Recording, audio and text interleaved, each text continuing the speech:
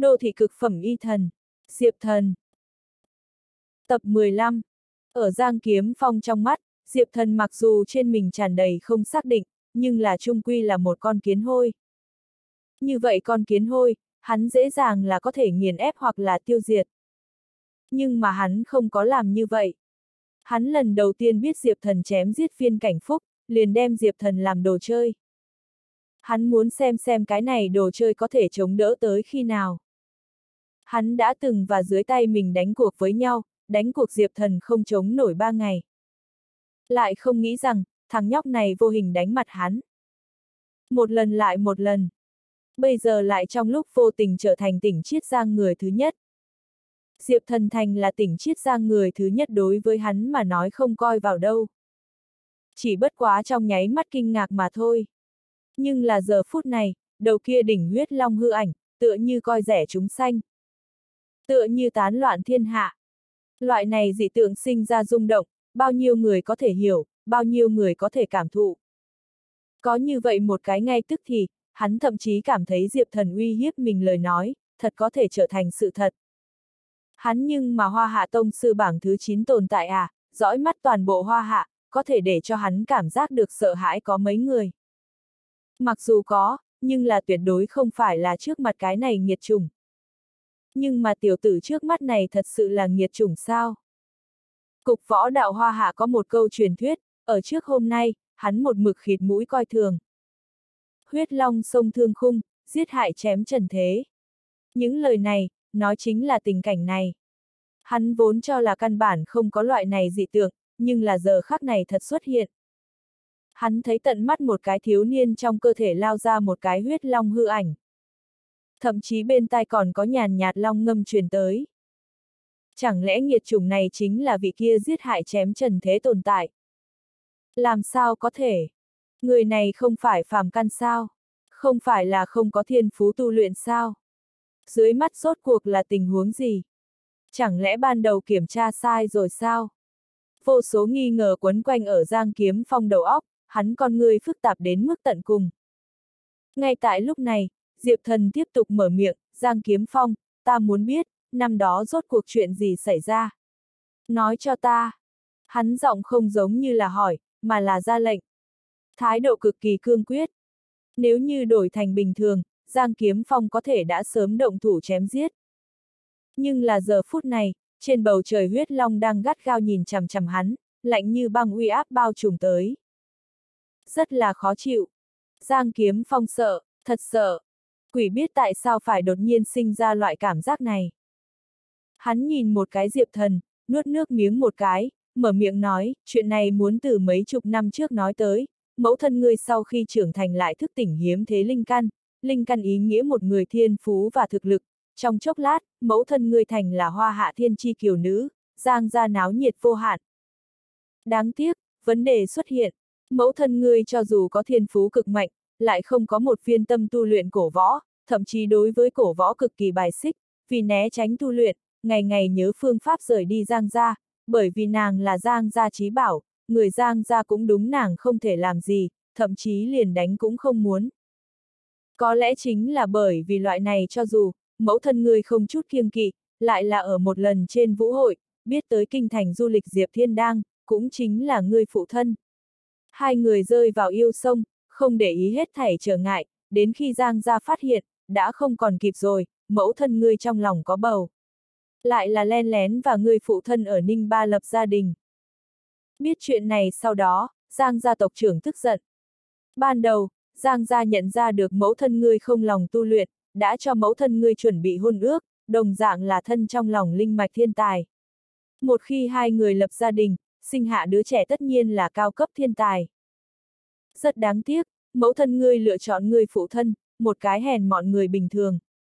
Vốn là người phụ thân phải chết, nhưng là mẫu thân ngươi vì cứu người phụ thân, không tiếc lựa chọn rời đi Giang gia, vĩnh sinh chọn đời cũng không được bước vào Giang gia nửa bước. Vốn là Giang gia đối với ngươi còn có kỳ vọng, làm kiểm tra đến linh căn của ngươi, hoàn toàn rơi xuống đáy cốc, Giang gia huyết mạch giàu gì cũng không khả năng sinh ra một cái phàm căn, sinh ra một tên phế vật. Người đối với Giang gia mà nói chính là một cái nghiệt chủng, một cái lớn nhất bại bút, người không cần trợn mắt nhìn ta, ta chỉ bất quá nói một sự thật mà thôi. Diệp thần trong mắt lạnh như băng thu hồi lại, hỏi tiếp, năm đó Vân Hồ Sơn Trang chuyện gì xảy ra, cái đó long gia lại là lai lịch gì, nói cho ta, người hẳn biết tung tích của hắn.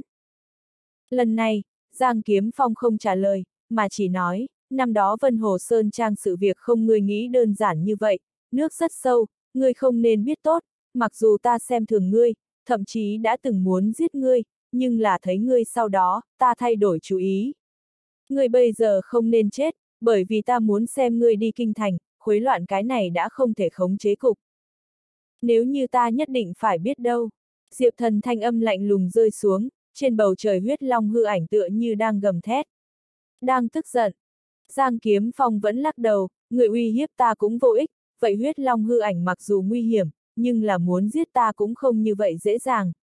Hơn nữa Vân Hồ Sơn Trang sự việc điểm khả nghi trùng trùng, dù là bây giờ ta vẫn đang điều tra, ta vẫn luôn không nghĩ ra một chuyện, người nọ tại sao phải đột nhiên đối phó các người một nhà. Ta đã từng hỏi người phụ mẫu, nhưng là người phụ mẫu căn bản không lý ta. Diệp thần nhìn một cái giang kiếm phong, đối phương không có thử dò xét ý nghĩa, xem ra giang ra không biết đá màu đen tồn tại. Ban đầu Diêu Kim Cốc chỉ là nói Long Gia đang tìm thứ gì, cũng không nhất định là chịu đựng luân hồi mộ địa đá, có thể mẫu thân trong tay có vật khác tồn tại. Ta phụ mẫu ở kinh thành vị trí nào, ngày hôm nay liền mang ta đi gặp bọn họ. Diệp thần mở miệng nói. Hắn mong đợi giờ khắc này quá lâu. Giang kiếm phong cự tuyệt nói, có thể phải để cho ngươi thất vọng, không chỉ ngươi không thấy được bọn họ, thậm chí bây giờ liền ta cũng không thấy được.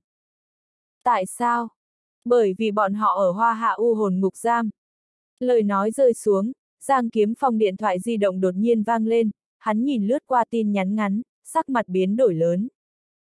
Hắn chợt đứng lên, bỏ lại một câu nói, nói, vốn là hôm nay ta hẹn ngươi tới, từng có xung động muốn giết ngươi, nhưng là bây giờ ta thay đổi chủ ý, tiếp theo, ngươi tự thu xếp ổn thỏa, u hồn ngục giam sự việc, có cơ hội ta sẽ lại nói cho ngươi, dưới mắt, kinh thành võ đạo giới xảy ra chuyện, Giang gia gặp nạn, ta phải lập tức đi kinh thành.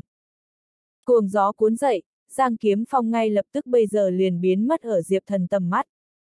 Diệp Thần ngồi ở trên ghế, đốt một điếu thuốc, ngày hôm nay đạt được những tin tức này, hắn đã rất hài lòng. Mặc dù không biết u hồn ngục giam là địa phương nào, nhưng là có tên chữ, muốn tìm tự nhiên sẽ ung dung rất nhiều. Khói mù lượn lờ, Diệp Thần nhìn mặt hồ bình tĩnh, lẩm bẩm nói. Giang ra, món nợ này ta trước nhớ. Năm đó ta mẫu thân khổ khổ cầu khẩn, năm đó ngươi đem ta làm nghiệt chủng, năm đó ngươi xem thường chúng ta một nhà. Nhưng là muốn không được bao lâu, ta sẽ để cho các người rõ ràng, cái gì mới thật sự là cao không thể leo tới. Ta Diệp thần không cần ngươi giang ra ánh sáng, ta Diệp ra ba người là có thể thành là hoa hạ cao cấp nhất gia tộc. Đến lúc đó, các người chỉ có thể ngửa mặt trông lên. Diệp thần ở công viên trên ghế dài lại quất mấy điếu thuốc, biết rõ một ít suy nghĩ, liền cầm lấy điện thoại ra bấm Diệp Lăng Thiên điện thoại. Người đối với u hồn ngục giam biết nhiều ít. Bên đầu điện thoại kia Diệp Lăng Thiên một mặt mờ mịt, lắc đầu một cái, điện chủ, ta chưa từng nghe qua danh tự này. Sau này điều tra kinh thành sự việc, thuận tiện giúp ta lưu ý u hồn ngục giam. Ưm, điện chủ. Sau đó, Diệp thần lại gọi cho lôi thụ vĩ, long hồn tin tức hệ thống hẳn tương đối kiện toàn, nhưng là lấy được câu trả lời nhưng là giống nhau. Giống như cái thế giới này căn bản không có cái gì u hồn ngục giam vậy. Cúp điện thoại, Diệp thần rơi vào trầm tư, long hồn cũng không biết tồn tại, cái thế giới này thật có cái gì u hồn ngục giam sao? Giang Kiếm Phong mặc dù đối với hắn có chút địch ý, nhưng là hẳn không có lừa dối mình. Không nghĩ nhiều nữa, Diệp thần trực tiếp đứng dậy, chuẩn bị rời đi công viên. Hắn ngẩng đầu lên, và trên bầu trời huyết long hư ảnh đối mặt mấy giây, huyết long hư ảnh từ chân trời đáp xuống. Gào thét cuồng gió và long ngâm không ngừng vang lên. Bành! Cuối cùng thẳng sông lên trong cơ thể hắn. Cái này huyết long hư ảnh là hắn gần đây phát hiện, vốn cho là chỉ có mình có thể thấy được, bây giờ nhìn lại giang kiếm phong loại cấp bậc này cường giả cũng có thể phát hiện. Mặc dù không biết cái này huyết long hư ảnh là làm sao hình thành, nhưng là chắc đúng mình không có gì chỗ xấu. Làm huyết long hư ảnh xông vào hắn thân thể, luân hồi mộ địa chấn động. Tòa thứ ba mộ bia lại bị vỡ mấy phần, một đạo hư ảnh lại dần dần cho thấy đi ra. Ngưng tụ thành hình. Là một cái bọc hắc bảo ông già, ông già trong mắt hiện lên từng cơn sắc bén, làm cho lòng người sợ hãi. Ông già áo bảo đen nhìn một cái sau lưng gần trăm tòa mộ bia, con người cực kỳ ngưng trọng và phụ trách, chúng ta đem vận mệnh đè ở một tiểu tử chưa ráo máu đầu trên mình, thật đáng giá không? Dứt lời, luân hồi mộ địa đột nhiên gió nổi lên. Phong sở trí, ông già áo bào đen bóng người hoàn toàn tiêu tán. Luân hồi mộ địa lại khôi phục yên lặng. Vậy dưới tình huống, chỉ có Diệp Thần dẫn động, mộ bia ở giữa đại năng mới có thể đi ra, nhưng là lần này, hắn nhưng mình đi ra. Quỷ dị đến trình độ cao nhất. Bất quá bên ngoài Diệp Thần cũng không có chú ý, hắn trực tiếp hướng tiểu đẳng chỗ đậu xe đi tới, chuẩn bị trở về biệt thự Minh Thúy. Đột nhiên, Diệp Thần bước chân dừng lại. Hắn dư quang chú ý tới cái gì, gắt gao nhìn chằm chằm xa xa một đạo thân ảnh.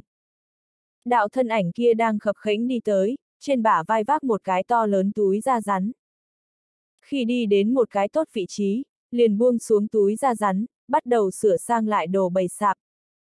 Mặc dù vẫn là buổi sáng, vùng lân cận xác thực đã có rất nhiều người bày sạp. Ở cửa công viên, lượng người đi rất tốt. Bởi vì bán đều là một ít phương diện xanh hoạt dùng đến đồ, đã có mấy vị đại mụ đang hỏi. Diệp thần sở dĩ dừng bước lại, hoàn toàn là bởi vì vậy khập khánh người, hắn biết. Đối phương kêu Trung Tuyết Dũng, đến từ Ninh Ba phía dưới huyện Tùng Sơn, bày sạp kiếm sống, làm người cởi mở. Ban đầu Diệp Thần mới tới Ninh Ba, vì kiếm tiền, liền mua một đống đồ đi thành Bắc công viên bày sạp. Cũng là vào lúc đó, mới bị thẩm mộng dai mời đi thẩm ra, biết thẩm hải hoa. Hắn đối với cái này bày sạp đại thúc coi như có chút hảo cảm, giúp hắn rất nhiều, chất phát thêm hiền lành. Mấu chốt hắn làm sao cũng tới tỉnh Chiết Giang. Hơn nữa chân qua thành như vậy, hắn nhớ mấy tháng trước còn thật tốt à. Không nghĩ nhiều nữa, Diệp Thần đi tới, làm đi tới gian hàng thời điểm, Trung Tuyết Dũng sang sáng cười một tiếng, nhìn một chút xem một chút, ta lão trung đổ nhưng mà bằng lương tâm bán, tiểu huynh. Thanh âm đột nhiên hơi ngừng. Trung Tuyết Dũng sững suốt thật lâu, mới nói tiểu Diệp, tại sao là ngươi? Trung Đại Thúc, thật là đúng dịp, ta vừa vặn tới bên này tập thể dục sáng sớm, ngươi làm sao tới tỉnh Chiết Giang? Diệp Thần cười nói. Trung Tuyết Dũng giải thích, con gái ta trường học đổi được tỉnh Chiết Giang bên này, để cho tiện phối hợp, ta liền đem gian hàng đặt ở phụ cận. Đúng rồi, Tiểu Diệp, ngươi lên lần bày sạp đồ vẫn còn ở ta bên kia, ta ban đầu ở Ninh Ba đợi ngươi mười mấy ngày, đều không gặp ngươi xuất hiện. Hai người đơn giản trò chuyện một hồi, Diệp Thần ánh mắt rơi vào Trung Tuyết Dũng trên đùi, Trung Đại Thúc, chân ngươi thế nào? Trung Tuyết Dũng mặt liền biến sắc, chợt cười một tiếng, vô tình té tới, không có chuyện gì. Diệp thần trao mày, hắn chỉ một nhìn lướt qua liền phát hiện chân hắn cũng không phải là té tới đơn giản như vậy, rất rõ ràng cho thấy đòn nghiêm trọng kết quả, nhưng là đối phương nếu không nói, hắn vậy không cần phải hỏi lại. Ngay tại lúc này, không biết ai kêu một tiếng, bọn họ lại tới. Trung tuyết dũng con ngươi nhìn một cái xa xa vào tới mấy người, tràn đầy kinh hoàng, vội vàng thu hồi gian hàng, trực tiếp phát trên vai lên, hoặc giả là bởi vì quá nặng, mặt hắn bàng xuất hiện một tia thống khổ, nhưng là vẫn cắn răng kiên trì. Tiểu Diệp, trước không trò chuyện, đám người kia tới. Nói xong, Trung Tuyết Dũng khập khẽnh xông ra ngoài. Bản thân chân liền bị thương, hơn nữa như vậy trọng lực đè, kịch liệt chạy động, hắn có thể cảm giác được Trung Tuyết Dũng trên mình lộ ra một tia sinh hoạt gian khổ. Đây là một cái người đàn ông sống lưng. Đột nhiên, Trung Tuyết Dũng bị thương chân phải hiển nhiên không chịu nổi trên vai vật nặng, cả người trực tiếp té xuống đất. Chán cũng dập đầu ra máu. Diệp thần thấy vậy, vừa định đi hỗ trợ, Trung Tuyết Dũng đã chống đỡ thân thể đứng lên, kinh hoàng nhặt thứ này, rót vào túi da rắn trong. Ngay tại lúc này, mấy người mặc trước đồng phục, cầm trong tay nhựa hắc côn người đàn ông đã tới Trung Tuyết Dũng trước mặt. Con mẹ nó, tên què còn chạy. Cầm đầu một người đàn ông, lại là một chân đạp ở Trung Tuyết Dũng trên ngực. Trung Tuyết Dũng ngay tức thì nện xuống đất, vật trên người lại là tơi tả rơi trên mặt đất. Lão tử con mẹ nó thấy được ngươi mười mấy lần, qua khác một cái chân còn chưa đủ, còn mẹ hắn muốn qua cái chân thứ hai. Lần trước lão tử để cho ngươi giao tiền, không giao, còn muốn tới nơi này bày sạp, hừ. Tự tìm cái chết. Cầm đầu người đàn ông vừa định đập ra một côn, một đạo cuồng gió cuốn dậy, Diệp Thần đã chắn Trung Tuyết Dũng trước mặt, năm ngón tay lại là hung hãn nắm cây kia hắc côn. Cút! Diệp Thần cánh tay một vung, người đàn ông kia trực tiếp bị đánh bay ra ngoài, chật vật ném xuống đất, trong miệng lại là khạc ra một ngụm máu tươi. Mà cây gậy kia cũng đã vặn vẹo không còn hình dáng. Diệp Thần đem Trung Tuyết Dũng đỡ lên, Trung Đại Thúc, người khá tốt.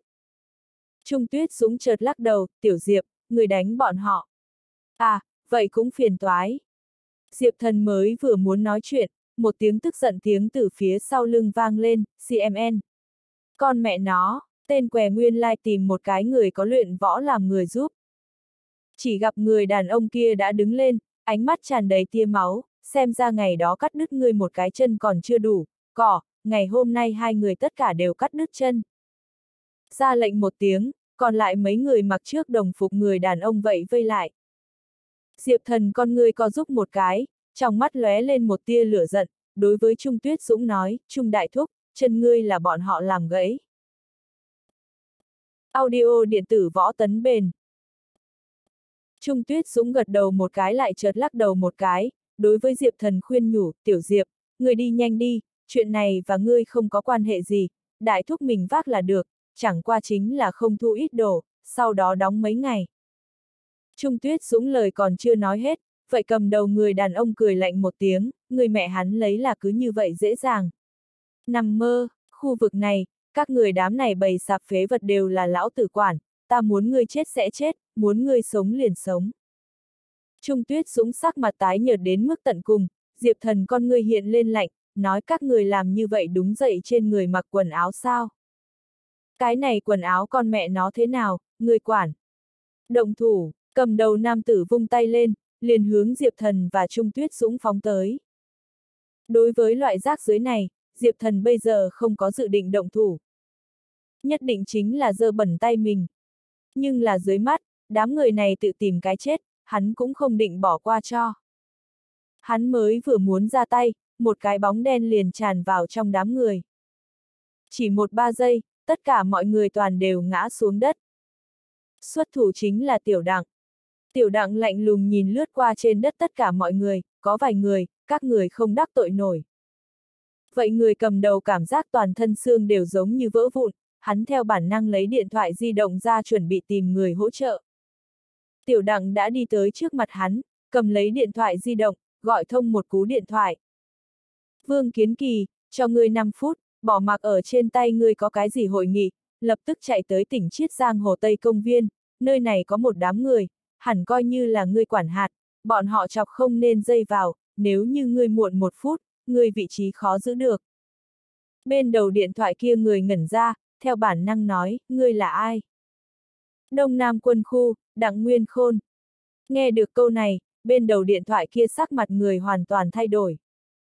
Tiểu đặng đem điện thoại trong tay bóp vỡ, sau đó nhìn ánh mắt tràn đầy sợ hãi người đàn ông kia, phân phó nói, tiếp theo, người sẽ hiểu, người rốt cuộc đắc tội với ai.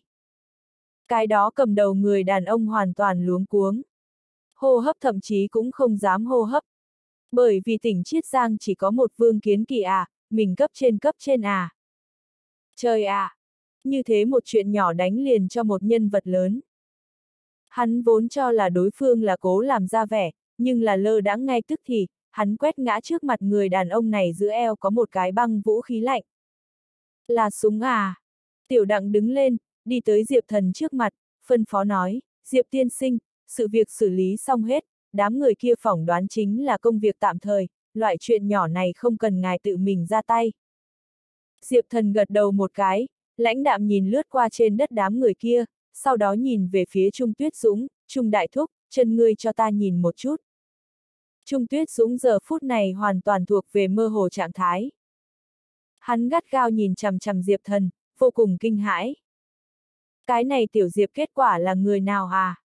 Bên người làm sao có một cái mạnh như vậy côn đồ đối với hắn như vậy tôn kính. Hắn vốn muốn cự tuyệt, nhưng theo bản năng gật đầu một cái. Diệp thần đem Trung Tuyết Dũng đỡ đến bên cạnh, hai tay lại là đè ở chân hắn lên. Trung đại thúc, liền đau một chút, người nhịn một chút. Tiểu Diệp, chân ta ta tự biết, không có gì đáng ngại. Trung Đại Thúc nói. Diệp thần cười một tiếng, Trung Đại Thúc, người quên ta trước bầy sạp là làm gì ta nhưng mà vị thần y. Dứt lời, Diệp thần chủ động, chỉ nghe gặp rắc rắc. Một tiếng, sau đó một cổ chân khí tràn vào đi vào. Trung đại thúc thương thế so sánh la sát mà nói căn bản không coi vào đâu, coi như đi bệnh viện, chỉ cái nửa tháng vậy không sai biệt lắm có thể tốt, Diệp thần chỉ bất quá ra tốc quá trình này mà thôi. Huống chi, hắn cảm thấy Trung đại thúc cũng không biết bỏ được đi bệnh viện tiêu số tiền này. Trung tuyết dũng cắn răng, cảm giác được đau đớn kịch liệt, nhưng là quỷ dị chuyện xảy ra, mấy giây sau, vậy đau đớn lại không có. Thay vào đó là một cổ nhiệt lưu. Trung đại thúc, người đứng lên cảm thụ một chút thử một chút, hẳn sẽ không có vấn đề gì lớn. Diệp thần nói. Nhanh như vậy. Trung tuyết dũng càng phát ra hồ nghi, coi như là thần y vậy không khoa trương như vậy chứ. Đúng. Nhìn tiểu diệp như vậy thề thành khẩn, Trung tuyết dũng chống đỡ thân thể đứng lên, bước ra một bước, lại không què. Thậm chí liền một tia đau đớn cũng không có. Hắn trong mắt trợn to, trên mặt lại là hưng phấn ý. Khỏe thật. Trung Tuyết Dũng nhìn Diệp Thần, kích động đến trình độ cao nhất. Hắn mặc dù không gặp qua cảnh đời, nhưng là không đại biểu hắn đần. Hắn lúc này mới biết cái này tiểu Diệp căn bản và hắn không là một loại người, là chân tránh nhân vật lớn. Hắn nghĩ tới điều gì, vội vàng quỳ xuống, Diệp tiên sinh, ta. Diệp thần bước chân đạp một cái, một cổ chân khí ngưng tụ ra, Trung Tuyết Dũng bất kể như thế nào dùng sức đều là quỳ không xuống. Hắn mới vừa muốn nói chuyện, liền nhận ra được luân hồi mộ địa truyền đến một tia chấn động, không do dự nữa, đối với Trung Tuyết Dũng nói. Trung Đại Thúc, người hay là gọi ta Tiểu Diệp tốt, ngày hôm nay ta còn có việc, ngày khác có cơ hội mời ngươi ăn cơm, nếu như lại đụng gặp chuyện gì, có thể liên lạc người bên người ta. Nói xong, lại phân phó Tiểu Đặng nói, Tiểu Đặng, đem người điện thoại để lại cho Trung Đại Thúc, nếu có chuyện gì, chiếu cố mấy phần. Ưm, Diệp tiên sinh. Rất nhanh, Diệp thần và Tiểu Đặng rời đi, chỉ để lại Trung Tuyết Dũng cầm một bản danh thiếp ở trong gió run rẩy.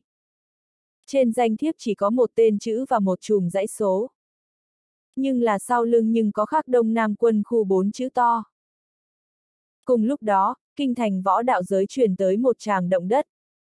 Ngang trời xuất thế một cái mang mặt nạ thiếu nữ lại đem mười mấy gia tộc cường giả toàn bộ đánh trọng thương. Thậm chí có một cái võ đạo gia tộc lão gia tử trực tiếp bị sống tức chết. Kinh thành võ đạo quán, đài võ đạo, thậm chí còn một ít có võ giả hơi thở đất, toàn bộ bị một cổ cuồng gió cuộn sạch. Mà cuồng phong sau lưng, chính là một cái mang mặt nạ thiếu nữ. Thiếu nữ không tính là cao, nhưng là ở kinh thành những cái kia cổ võ giả trong mắt nhất định chính là một tòa không thể lật xem núi lớn. Mấu chốt đối phương một lời không hợp liền động thủ à. Những gia tộc kia căn bản không nghĩ tới tại sao phải bị đánh à. Kinh thành tứ hoàn một nơi biệt thự bên trong. Một cái trung niên nam tử đang trong miệng khạc máu tươi, trong mắt hoảng sợ nhìn chằm chằm trên ghế salon bắt chéo chân mặt nạ cô gái. Hắn đầu gối quỳ, thân thể không ngừng run rẩy. Hắn thật sợ hãi và sợ. Hắn nhưng mà hoa hạ tông sư bảng thứ 10 tên bao tân hà, kia nhận loại khuất nhục này à. Coi như bị thương, cũng không thể liền 10 chiêu cũng vác không dưới à. Trên ghế salon cái tên kia rốt cuộc là nơi nào đi ra ngoài hỗn thế ma vương à.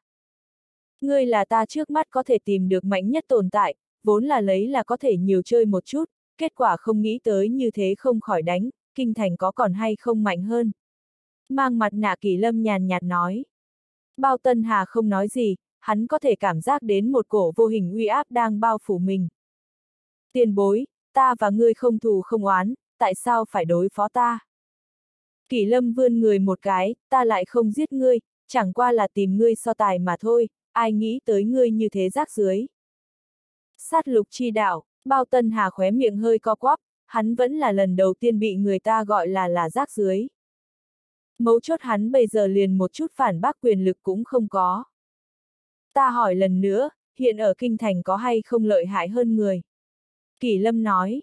Bao Tân Hà lắc đầu một cái, theo ta biết, còn lại cơ hồ hoa hạ tông sư bảng cường giả đều không ở kinh thành, có chút đi nước ngoài, có chút ở trong núi sâu tìm kiếm cơ duyên. Kỷ Lâm cảm thấy có chút không thú vị, nói cách khác, người bây giờ là kinh thành và hoa hạ mạnh nhất. Bao Tân Hà ngẩn ra, cười khổ nói, cái này vị tiền bối, nếu như ta là hoa hạ mạnh nhất cũng không khả năng chật vật như vậy, bỏ ra hoa hạ tông sư bảng, chỗ tối còn có một chút cao cấp cường giả. Những cường giả này chuyên tâm tu luyện, căn bản không để ý cái gì hạng. Những người này ở đây kia, người có biết hay không? Bao Tân Hà con người có giúp một cái, bất đắc dĩ nói, tiền bối, ta thật không biết à, cổ võ giả đến phía sau, trừ gia tộc mình sự việc quan tâm một chút, ai còn sẽ quan tâm người khác chiều hướng. Dù là ta bây giờ đã coi như là hoa hạ trên mặt nổi hạng thứ 10 cường giả, những lực lượng kia ta cũng không có tư cách đụng chạm à. Kỳ lâm cảm thấy tên này cũng không khả năng ở mình uy áp hạ nói láo, mới vừa muốn nói cái gì, nàng bên hông một khối ngọc bội lóe lên. Nàng bắt lại ngọc bội, có chút không vui. Bởi vì chị nàng kỳ tư thanh đã thông báo, ngọc bội lóe lên, nàng đến lượt hồi côn lôn hư, nếu không tự gánh lấy hậu quả.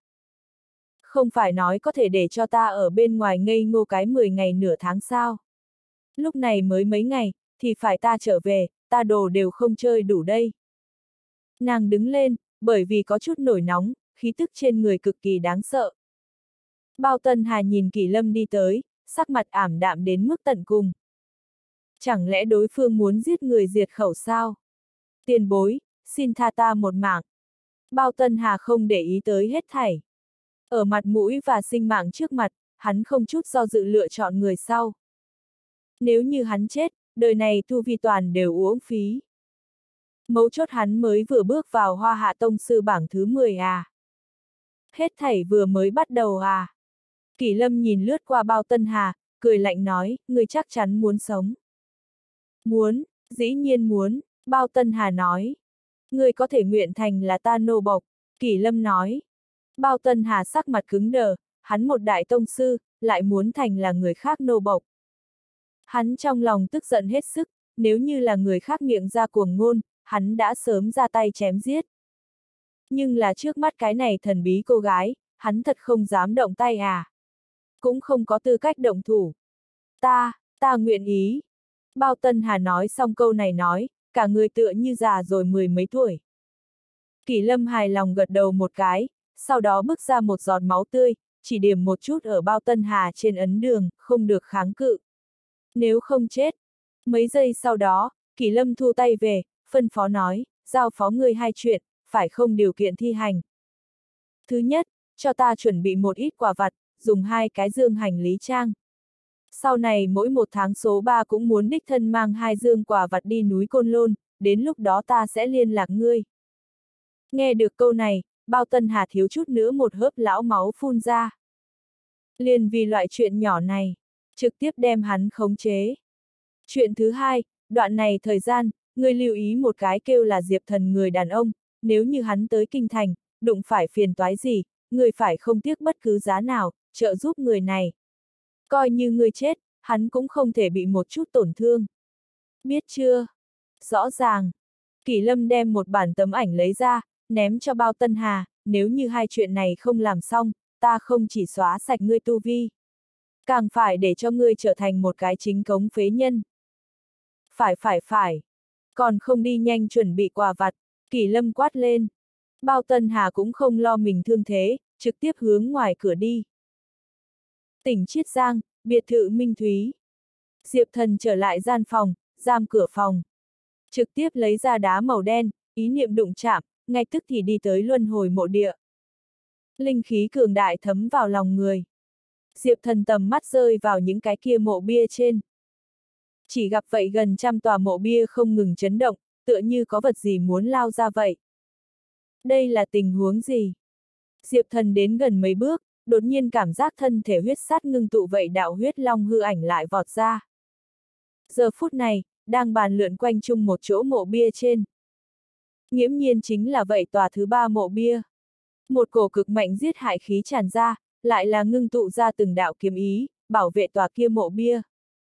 Chẳng lẽ tòa thứ ba mộ bia nhân vật có cái gì không giống nhau? Diệp thần giọng có chút cổ quái. Hắn thậm chí cảm giác được chảm long kiếm thật giống như đều bị ảnh hưởng, đang đang kịch liệt run rẩy. Hắn về phía trước nhích tới gần mấy bước, phảng phất có một loại lực lượng ở dẫn dắt hắn. Rất nhanh, hắn sẽ đến tòa thứ ba mộ bia trước người. Rắc rắc, mộ bia trực tiếp nứt ra một đạo, vậy giết hại chữ viết cũng là biến mất, một cổ xương mù màu đen từ bên trong tuôn ra ngoài. Diệp thần cái này mới thanh tỉnh lại, hắn đây sẽ không là dẫn động tòa thứ ba mộ bia đi. Hắn đây chính là dự định giữ lại làm lá bài tẩy à. Bây giờ vừa không có nguy hiểm, dẫn động tên này làm gì? Ngay tại lúc này, vậy hắc phụ đã ngưng tụ thành hình, một cái hắc bào còng lưng ông già xuất hiện ở trước mặt hắn. Cụ già xúc trước một toát ngắn mà cứng rắn dâu hoa dâm, một đôi tông màu nâu ánh mắt lõm sâu ở hốc mắt bên trong, dưới hắc bào dài một đầu rối tung tóc bạc muối tiêu. Ông già áo bào đen ngẩng đầu lên, vậy lạnh như băng hết sức con người nhìn chằm chằm Diệp Thần. Luân hồi mộ chủ, chúng ta rốt cuộc gặp mặt, ta chờ đợi ngày này không biết đã bao nhiêu năm. Diệp Thần sắc mặt có chút khó khăn xem, nói, người còn có thể chống đỡ bao lâu. Hắn vốn cho là ông già sẽ trả lời mấy giờ, lại không nghĩ rằng ông già trực tiếp mở miệng nói, 10 ngày, cũng hoặc là một tháng, thậm chí lâu hơn. Lâu như vậy, ông già không có bất kỳ biểu lộ gì, nói ta sẽ không giống trước mặt hai vị như vậy, trực tiếp cho ngươi một ít thứ, ngươi bây giờ tu vi quá thấp, căn bản không chịu nổi, chỉ biết lãng phí. Ta muốn dạy ngươi thích hợp nhất ngươi nói. Thích hợp nhất ta đạo. Ông già gật đầu, hàn mâu lóe lên lạnh như băng quang, sát đạo. Những năm này ngươi mặc dù trải qua giết hại, nhưng ở ta trong mắt, những thứ này giết hại căn bản không trị giá một đề ra, ta phải dẫn người tiến vào chân chính sát lục chi đạo. Nói thí dụ như, Diệp Thần nói. Ví dụ như như vậy. Ông già áo bảo đen đột nhiên biến mất, một giây kế tiếp, trực tiếp xuất hiện ở Diệp Thần sau lưng, một thanh trường kiếm trực tiếp hướng hắn cổ tới.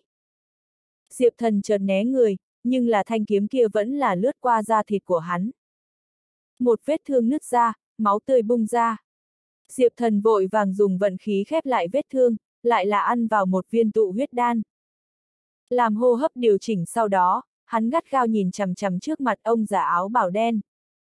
Luân hồi mộ địa cường giả không phải phải giúp hắn sao? Làm sao biến thành giết hắn? Kiếm ý tấn công tới. Hôm nay, ta sẽ dạy ngươi một kiếm, tên là là huyết trảm. Tất cả giết hại, đều là một chàng hoa lệ diễn xuất. Vèo. Vô tận bóng kiếm vần quanh ở diệp thần thân kiếm, hắn mặc dù tránh được bộ vị yếu hại, nhưng thân thể nhưng ở một cái chớp mắt này chúng mấy trăm kiếm, tuy là cực kỳ nhỏ vết thương. Ông già áo bào đen hiển nhiên thu lực.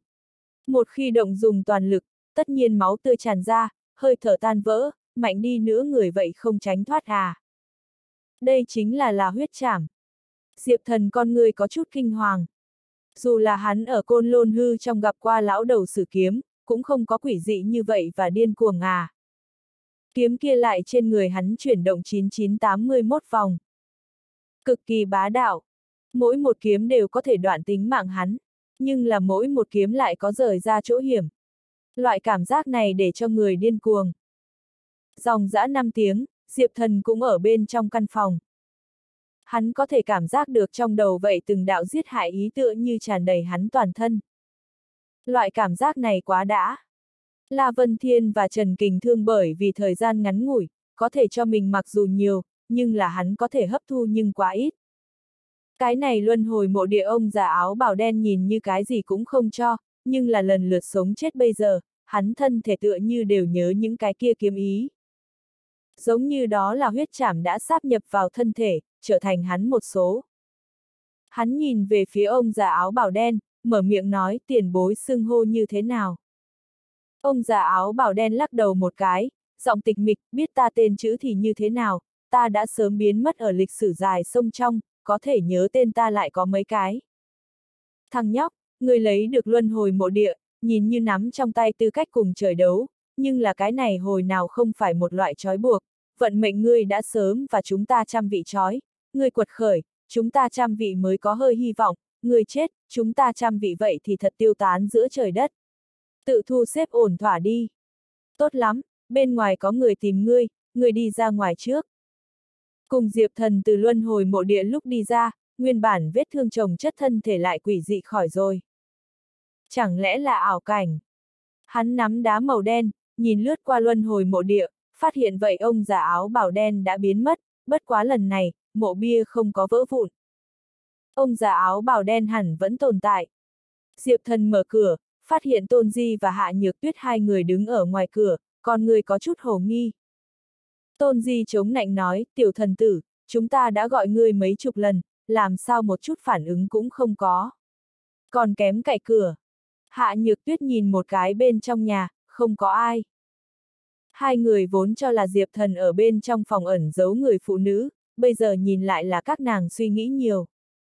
Diệp Thần gãi đầu một cái, giải thích mấy ngày nay chân thực tương đối mệt mỏi, nằm ở trên giường liền ngủ rất say, thật cái gì cũng không nghe được. Hạ Nhược Tuyết cười một tiếng, nói, vốn là muốn chờ ngươi ăn chung cơm trưa, nhưng là bây giờ đã buổi chiều 3 giờ, thức ăn cho ngươi nóng, ngươi giặt tốc vừa đưa ra ăn đi. Được. Ăn cơm chưa xong, Diệp Thần liền ra cửa, muốn đi cách vách xem xem la sát tay cụt như thế nào. Mới vừa bước ra biệt thự, liền chú ý tới cái gì, mở miệng nói, Lục Hàn Sương, bây giờ huyết mai điện để cho ngươi giám thị ta. Ngươi hẳn biết ta ghét nhất chính là giám thị đi. Lục Hàn Sương thần sắc nặng nề, ta tới nơi này, là nói cho ngươi một chuyện trọng yếu tình. Chuyện gì? Huyết mai điện trụ sở chính dự định động ngươi. Lục Hàn Sương giọng lộ ra vẻ kiêng kỵ. Nàng ở địa phương đó cuối cùng là huyết mai điện tỉnh Chiết Giang chi nhánh, nơi này sát thủ đối với hiện tại Diệp Thần mà nói, có thể hoàn toàn không đủ phong độ. Nhưng là tổng bộ nếu như người đến thì thật phiền toái. Lần trước các người huyết mai điện lăng phong không phải nói triệt tiêu đối với ta đuổi giết sao. Diệp thần nói. Diệp thần, sự việc không người nghĩ như thế dễ dàng, lần này, là kinh thành huyết mai điện vị kia chỉ đích danh đạo hiệu phải đối phó ngươi, nếu như ta không đoán sai, sát thủ đã tới tỉnh Chiết Giang. Diệp thần không để ý đến Lục Hàn Sương, hướng cách vách biệt thự đi. Lục Hàn Sương đuổi theo, nghiêm túc nói, huyết mai điện tổng bộ sát thủ không người nghĩ đơn giản như vậy, hơn nữa, lần này, xuất thủ có thể là kinh thành huyết mai điện tổng bộ đệ nhất sát thủ. Ở trên tay hắn dính chỉ có máu tươi, không có thất bại. Diệp thần, có thể hay không không muốn cả ngày lẫn đêm dáng vẻ không quan tâm.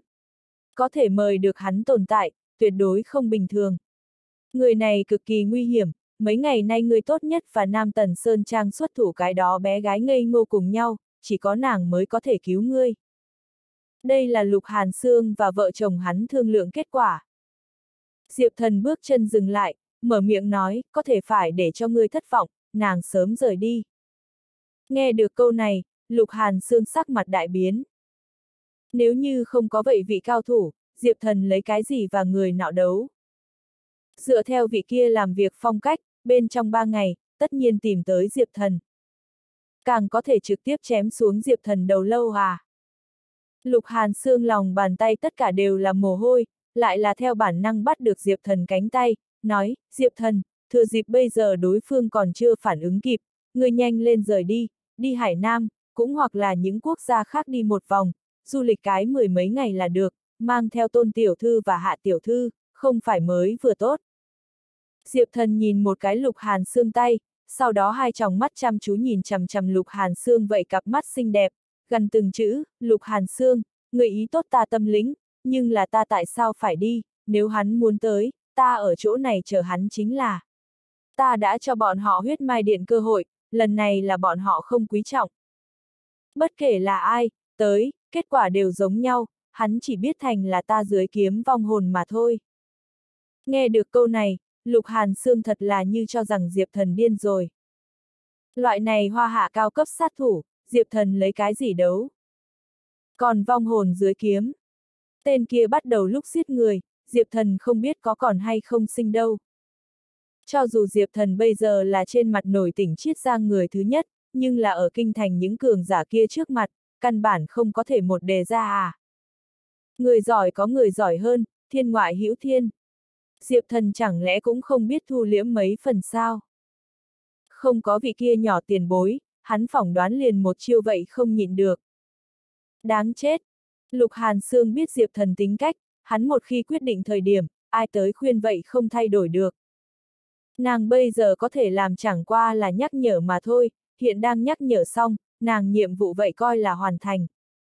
Lục Hàn Sương nhìn Diệp Thần Viễn đi hình bóng, bất đắc dĩ lắc đầu một cái, ngươi lấy là mình đứng ở tỉnh Chiết Giang đỉnh cấp, nhưng mà ngươi căn bản không biết bầu trời bên ngoài có bao nhiêu rộng lớn, đây là ngươi lớn nhất bi ai.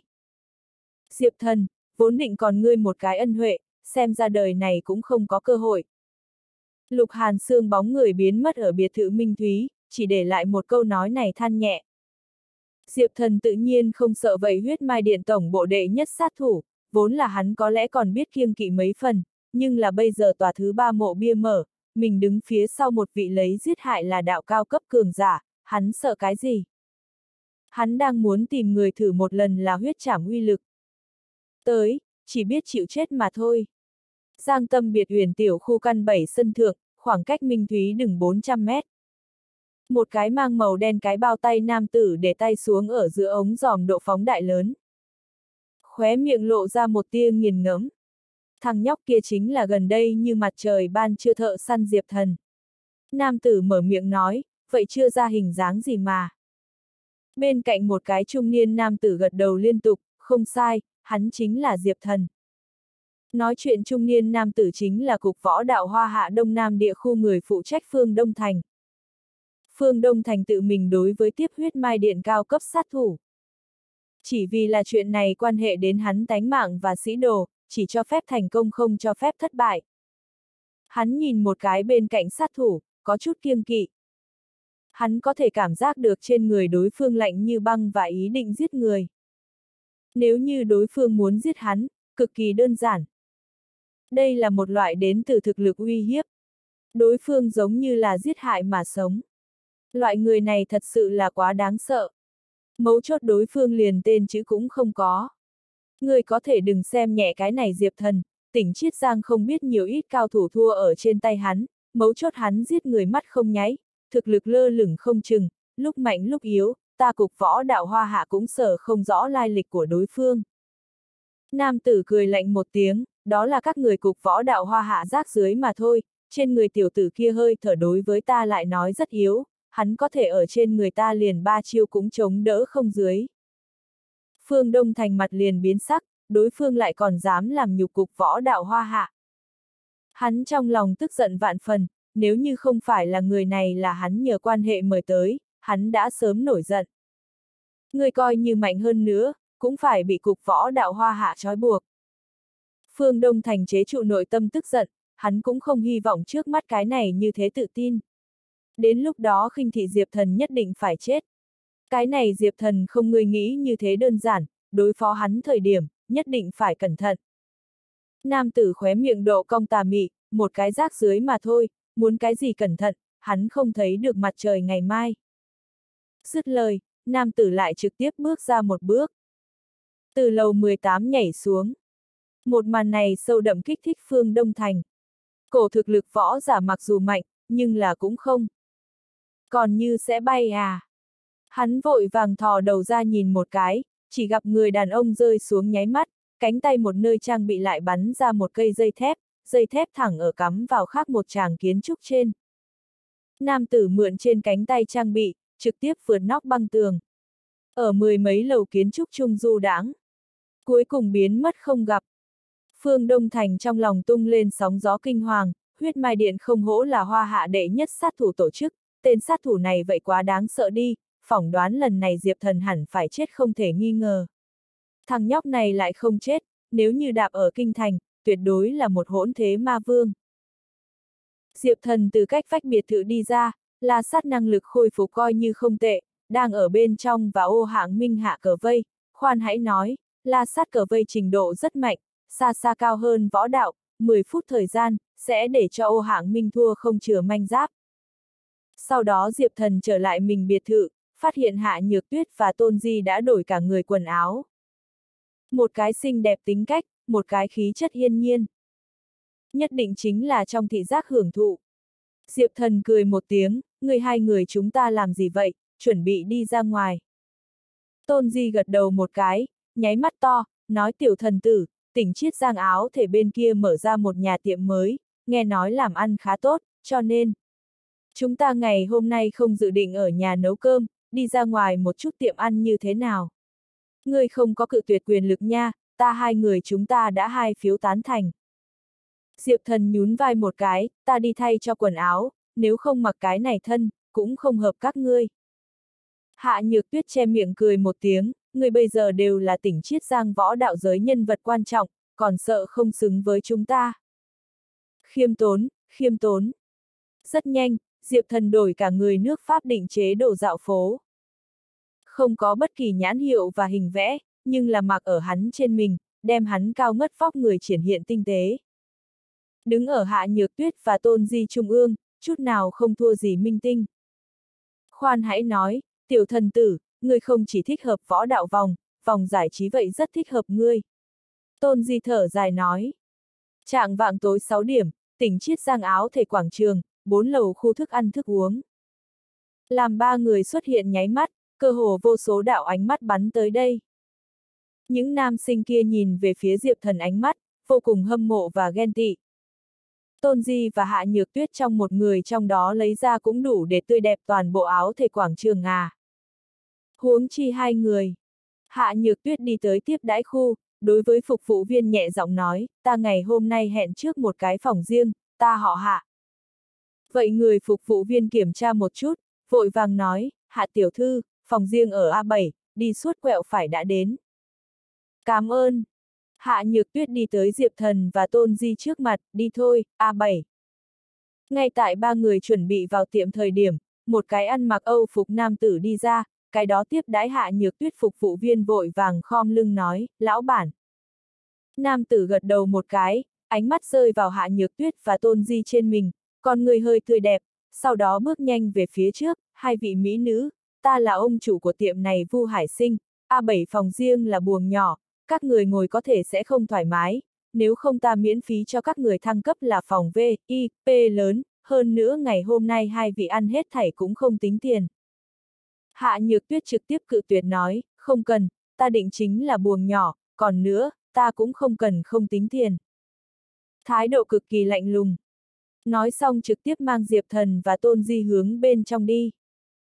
Tựa như Vu Hải Sinh ở nàng trước mặt liền không khí cũng kém hơn. Cũng đúng, bây giờ ba người giá trị con người, không phải một cái ăn uống cửa hàng lão bản có thể so.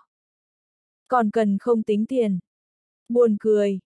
Vu Hải sinh diễn cảm có chút lúng túng, thậm chí tầm mắt rơi vào Diệp Thần trên mình mấy giây. Hắn một chiêu này không có thất bại qua, nhưng là ngày hôm nay liền xảy ra vấn đề.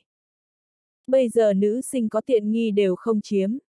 Còn nữa, thằng nhóc này bên người làm sao có hai cô gái đẹp đi theo.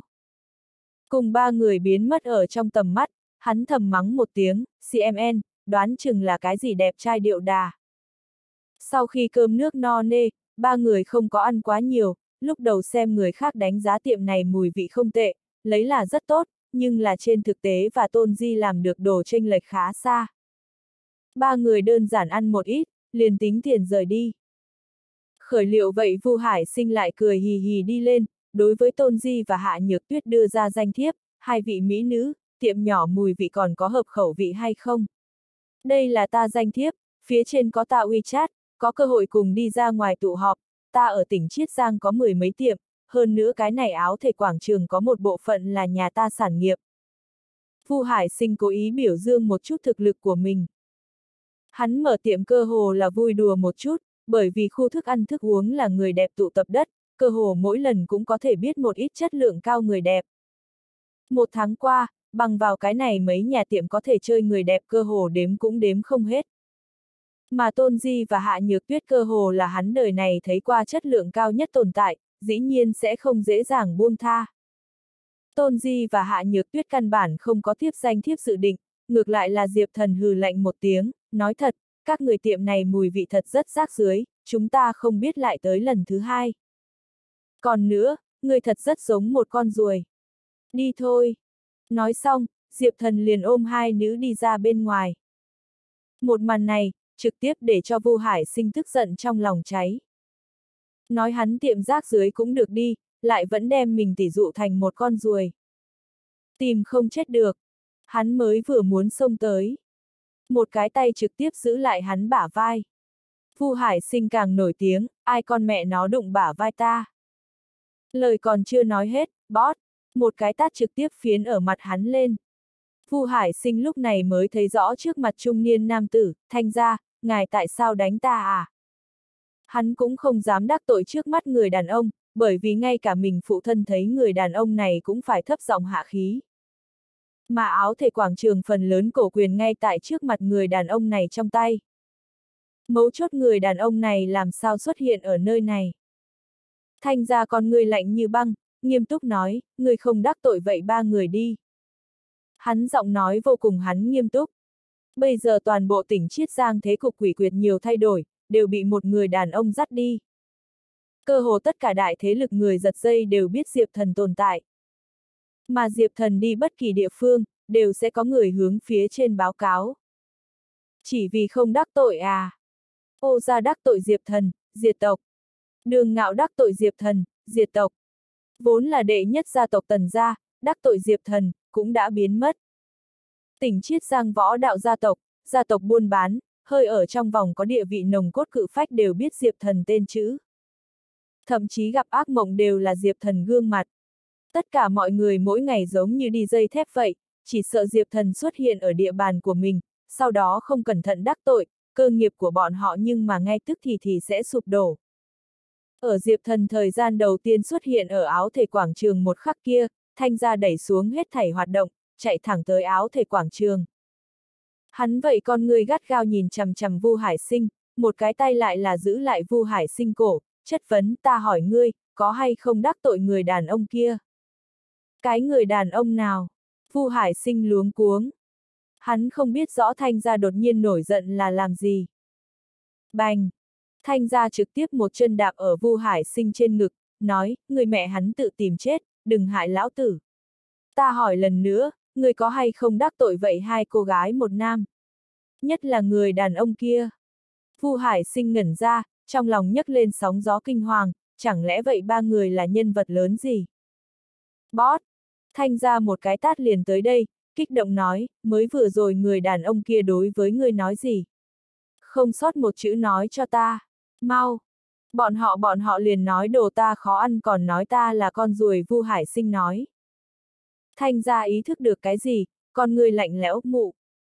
Người đâu, đem cái này đồ không có mắt kéo dài. Nếu như lão tử bị ngươi hại chết, các người một nhà đều chớ nghĩ sống. Vu Hải Sinh luống cuống, còn không nói gì, liền bị thanh ra sau lưng hai người kéo xuống. Hắn muốn vùng vẫy cũng không khả năng. Ba người mới ra áo thể quảng trường, một đạo thanh âm già nua đột nhiên ở Diệp Thần bên tai nổ vang. Thằng nhóc, người bị người theo dõi. Thanh âm gì? Diệp Thần bước chân dừng lại, đột nhiên kịp phản ứng. Thanh âm này từ luân hồi mộ địa trong truyền ra. Là vị kia ông già áo bảo đen. Diệp Thần tầm mắt nhìn quanh một vòng, không phát hiện chút nào. Người không tìm được, người này cực kỳ giỏi về ẩn núp, mấu chốt và ngươi từ đầu đến cuối duy trì khoảng cách đủ xa, đừng nói là ngươi, coi như so ngươi cao hai cái lớn cảnh người vậy không nhất định có thể phát hiện. Trên người người này có cực kỳ nồng đậm sát khí, trên người hắn giết hại khí rất nặng, nếu như ta không đoán sai, là tới giết ngươi. Đối phương chỉ có một người, ban ngày thời điểm liền bắt đầu quan sát ngươi, thực lực so ngươi mạnh rất nhiều. Nếu như ta là ngươi, ta đi ngay tìm hắn, người này chính là chiết là huyết trảm lựa chọn tốt nhất. Diệp thần gật đầu một cái, Hắn đối với Hạ Nhược Tuyết và Tôn Di nói, ta tạm thời nghĩ đến một chuyện phải xử lý, để cho tiểu đẳng trước đưa các người trở về. Hai người kinh ngạc nhìn một cái Diệp Thần, vẫn gật đầu, được. Diệp Thần đem hai người đưa tới xe, đồng thời để cho Diệp Lăng Thiên phái người âm thầm nhìn chằm chằm, lúc này mới đưa mắt rơi vào 10 giờ phương hướng một nơi xó xỉnh trong. Hắn khóe miệng phát họa một đạo nụ cười, đưa tay ra, yên lặng so một cái ngón giữa. Giờ phút này, ngoài trăm thước một người đàn ông tử buông xuống ống giòm, con người có thật sâu kinh hoàng. Hắn lại bị phát hiện. Làm sao có thể? Hắn săn giết vô số cường giả, những cường giả kia xa xa so trước mắt mục tiêu mạnh hơn. Không có người nào phát hiện hắn tồn tại. Nhưng là trước mắt cái đó ngón giữa lại là sao chuyện gì? Một loại bất an cảm giác nguy hiểm tập thượng tâm đầu. Nghề khứu giác nói cho hắn, cái thằng nhóc đó so tưởng tượng còn nguy hiểm hơn. Chẳng lẽ Phương Đông Thành nói là sự thật? Hắn lần nữa cầm lên ống giò muốn xem một chút Diệp Thần, nhưng phát hiện đối phương đã không thấy. Đột nhiên, một đạo hàn ý lạnh như băng bắn thẳng tới. Nam tử sắc mặt đại biến, theo bản năng cầm trong tay ống giòm ném ra ngoài. Bót! Ống giòm trực tiếp hóa là bột. Sắc bén như cũ. Phốc xích. Một quả màu đen phi tiêu trực tiếp dán quần áo hắn vạch qua. Hắn cánh tay phải xuất hiện một đạo nhàn nhạt vết máu. Đinh! Phi tiêu trực tiếp đóng vào trên tường, không ngừng run rẩy. Nam tử nhìn lướt qua mình vết thương, sau đó con người gắt gao rơi vào vậy cái dính máu tươi phi tiêu trên. Hắn diễn cảm quỷ dị đến trình độ cao nhất.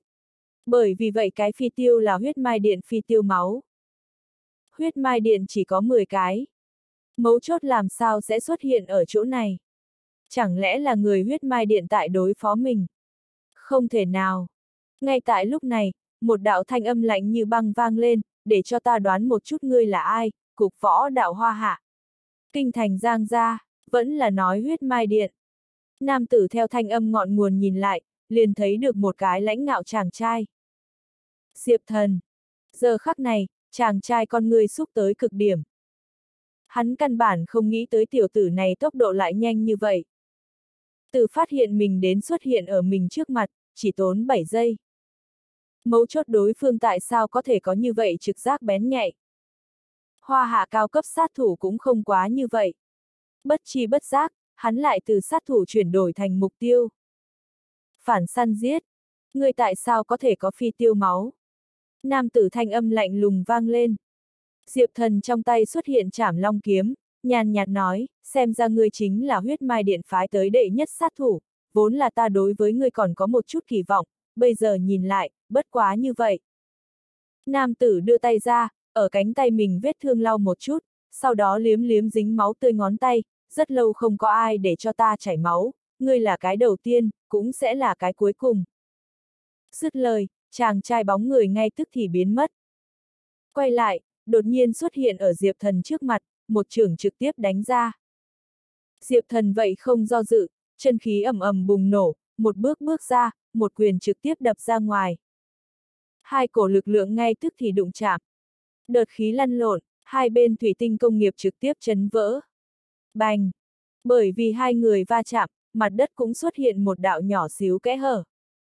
Có thể gặp một kích này có kinh khủng dường nào. Mà Diệp Thần và Nam Tử lại là dối rít lui về phía sau. Một kích dưới, không phân cao thấp. Có ý tứ, thật sự có ý nghĩa.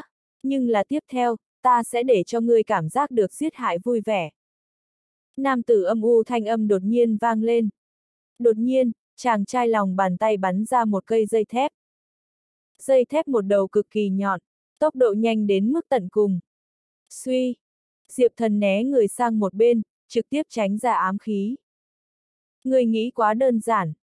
Nam tử cười lạnh một tiếng, trong hai tròng mắt sát y phun trào, kinh khí ở hai cánh tay trong bùng nổ, tay hắn cánh tay tựa như lớn dòng dã một vòng. Sau đó, cánh tay chấn động mạnh. Vậy dây thép giống như vạn ngựa vỡ đằng, lại hình thành một đường thật dài kiếm ý, trực tiếp hướng Diệp Thần cổ đi. Diệp Thần hơi biến sắc mặt. Thân thể ép xuống, một trường vỗ ở trên mặt đất, cả người đằng nhảy tới. Năm ngón tay hung hãn hướng dây thép bắt đi. Xé kéo. Nam tử cả người rất miễn cưỡng bị Diệp Thần kéo trở lại. Nhận lấy cái chết. Diệp Thần trong tay chảm long kiếm chân khí lượn lờ, một kiếm đánh xuống. Một kiếm này tựa như đê đập lũ lụt bỗng nhiên phóng thích, nổ ầm từng cơn. Nam tử cười lạnh một tiếng, người ta thực lực sai biệt quá lớn, chỉ một một kiếm này muốn giết ta cũng không như vậy dễ dàng. Dứt lời, trong tay hắn dây thép lại ngưng tụ thành một chuôi nhuyễn kiếm, hướng Diệp Thần một kiếm chém tới. Hắn dây thép cũng không phải là thông thường dây thép, còn có thể ngưng tụ thành kiếm. Lại là linh thạch và công nghệ cao chung nhau chế tạo, hình thái biến hóa đa đoan, mấu chốt vậy vũ khí căn bản không phá hư được. Phá! Hai đạo hàn quang lóe lên. Sao hỏa đại tác. Đâm, một tiếng, quỷ dị chuyện xảy ra. Nguyễn kiếm của hắn lại gãy lìa. Vô số dây thép tán lạc ra. Chàng trai con người trợn to đến mức tận cùng, kinh hãi nói, làm sao có thể. Còn không chờ hắn kịp phản ứng, Diệp thần chảm long kiếm đã đánh xuống. Dễ như bỡn vậy kiếm ý xé không khí, uyển như thiên thần kiếm trực tiếp đánh xuống. Nam tử vội vàng trước sau thối lui. Cho dù như vậy, quần áo hắn cũng bị cuồng bạo kiếm ý xé một vết thương. Nam tử nhìn một cái mình quần áo, cười. Cái này còn là lần đầu tiên có người để cho ta như vậy chật vật, bất quá, trò chơi cũng nên kết thúc. Người biết ta bùng nổ thực lực, ở hoa hạ tông sư bảng thứ mấy sao? Người không có tư cách biết, không quá ta ngày hôm trước mới vừa chém giết một vị thứ 30 tên cường giả. Ngươi lấy cái gì đấu với ta? Một giây kế tiếp, nam tử trên mình lại vần quanh ra vô số hắc khí. Hắn thân thể bỗng nhiên khổng lồ mấy phần, hắc khí lại là chui vào hắn con ngươi, một cổ sát ý lạnh như băng bao trùm mở. Diệp thần ngẩn ra, mới vừa muốn động thủ, luân hồi mộ địa một giọng nói truyền tới.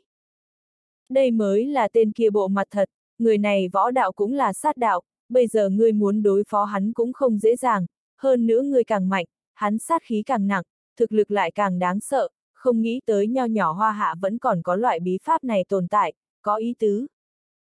Diệp thần hướng phía trước bước ngang qua ra một bước, trong tay chảm long kiếm phóng thích ý định giết người, mang chết ánh sáng màu đen hướng nam tử càn quét đi. Kiếm chiêu nhẹ nhàng lơ lửng, nhìn như tùy ý, nhưng là nhưng hàm chứa vô hạn ý định giết người và uy lực. Phá! Mắt xem kiếm ý thì phải chạm được nam tử, nam tử một tiếng giống giận. Trong tay xuất hiện một cái màu đen đoàn đao. Đoàn đao lau một cái, đao khí dạo rực chạy đi. Đinh! Một tiếng thanh âm thanh thúy truyền tới, tựa như chuyển kiếp hằng cổ năm tháng, lại tựa như đến từ ngoài bầu trời chi âm, cho người một loại hư ảo mà nặng nề cảm giác. Đao kiếm làm bạn, cực hạn ánh sáng từ làm bạn chỗ bộc phát ra, giống như một viên trói mắt mặt trời, nhức mắt vô cùng. Một tầng vô hình đợt khí hướng bốn phía hoành sông lên đi, chỗ đi qua tất cả hết sức tàn phá, tất cả vật thể hóa là nghiền. Diệp thần lại lui về phía sau dòng dã ba bước. Đối phương lực lượng lại tăng trưởng năm lần không dứt. Nam tử âm u nụ cười vang lên, ta muốn cho ngươi chết, ngươi thì nhất định phải chết, nhớ, ngươi là chết ở huyết mai điện tinh hồng trên tay. Ta là tinh hồng, máu tươi tinh hồng. Rất hiển nhiên tinh hồng liền là đối phương danh hiệu. Một giây kế tiếp, nam tử đã xuất hiện ở Diệp Thần trước mặt. Trong tay đoàn đao trên không trung vạch ra một đạo chết độ cong. Kinh khí ầm ầm nổ tung. Không chút lưu tình hướng Diệp Thần bổ ngang xuống. Cái này một đao, một khi rơi xuống, chỉ có một cái khả năng. Chết! Ở nơi này ngàn cân treo sợi tóc hết sức, một giọng nói ở trong đầu hắn vang lên. Sát lục chi đạo, có thể ngưng chỉ kiếm gãy, lấy quyền là khí. Giết hại tâm, không sợ hết thảy.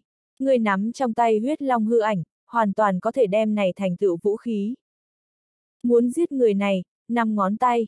Hơn nữa là huyết chảm, đủ rồi. Giờ khắc này, Diệp thần tựa như thể hồ quán đính. Hắn đối với sát lục chi đạo hiểu thêm mấy phần. Hắn quanh thân ngay tức thì xông ra một cổ cực mạnh huyết sát.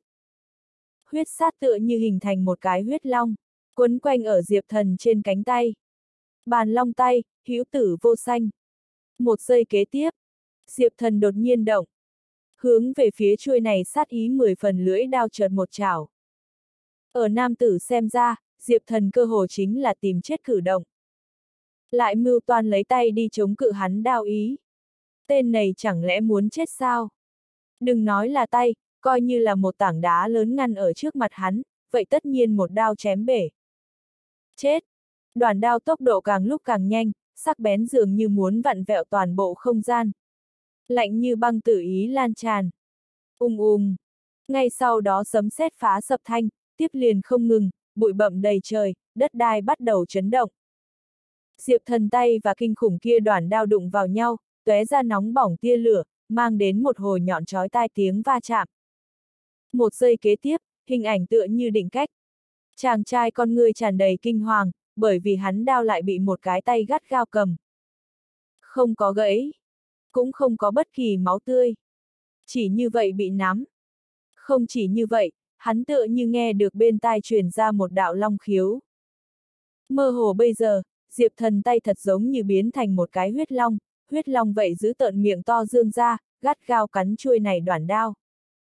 Đao khí biến mất, hết thảy lực lượng đều bị huyết long hấp thu. Làm sao có thể? Sát lục chi đạo, cũng không phải là chỉ có ngươi một người sẽ.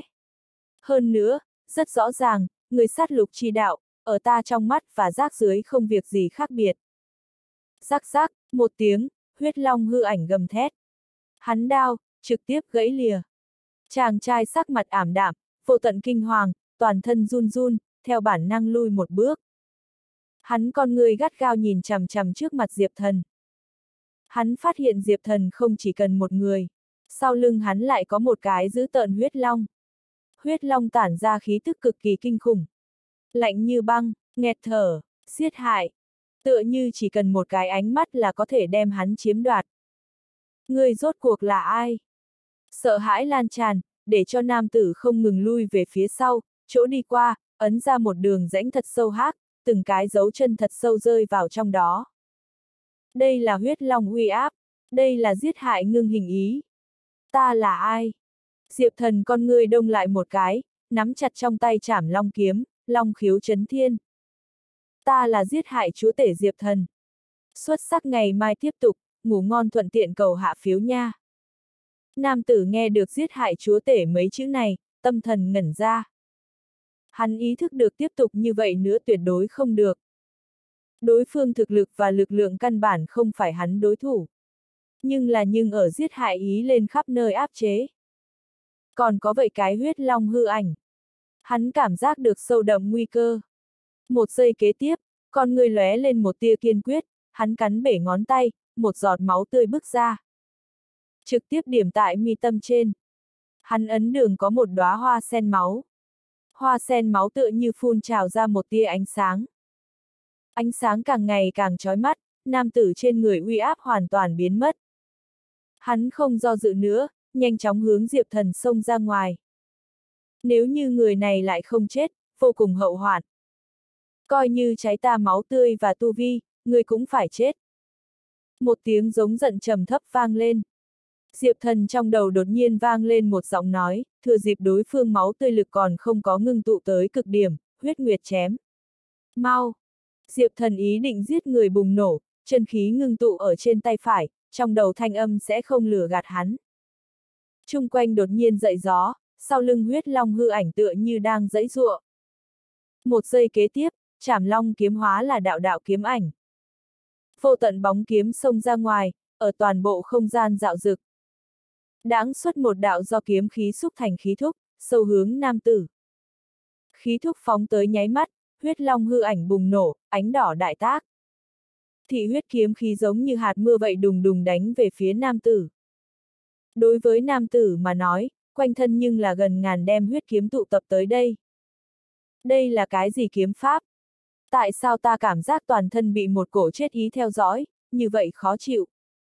Hắn chỉ có thể qua loa ngăn cản kiếm khí, hàng loạt tia lửa cùng máu bắn tung tung tóe.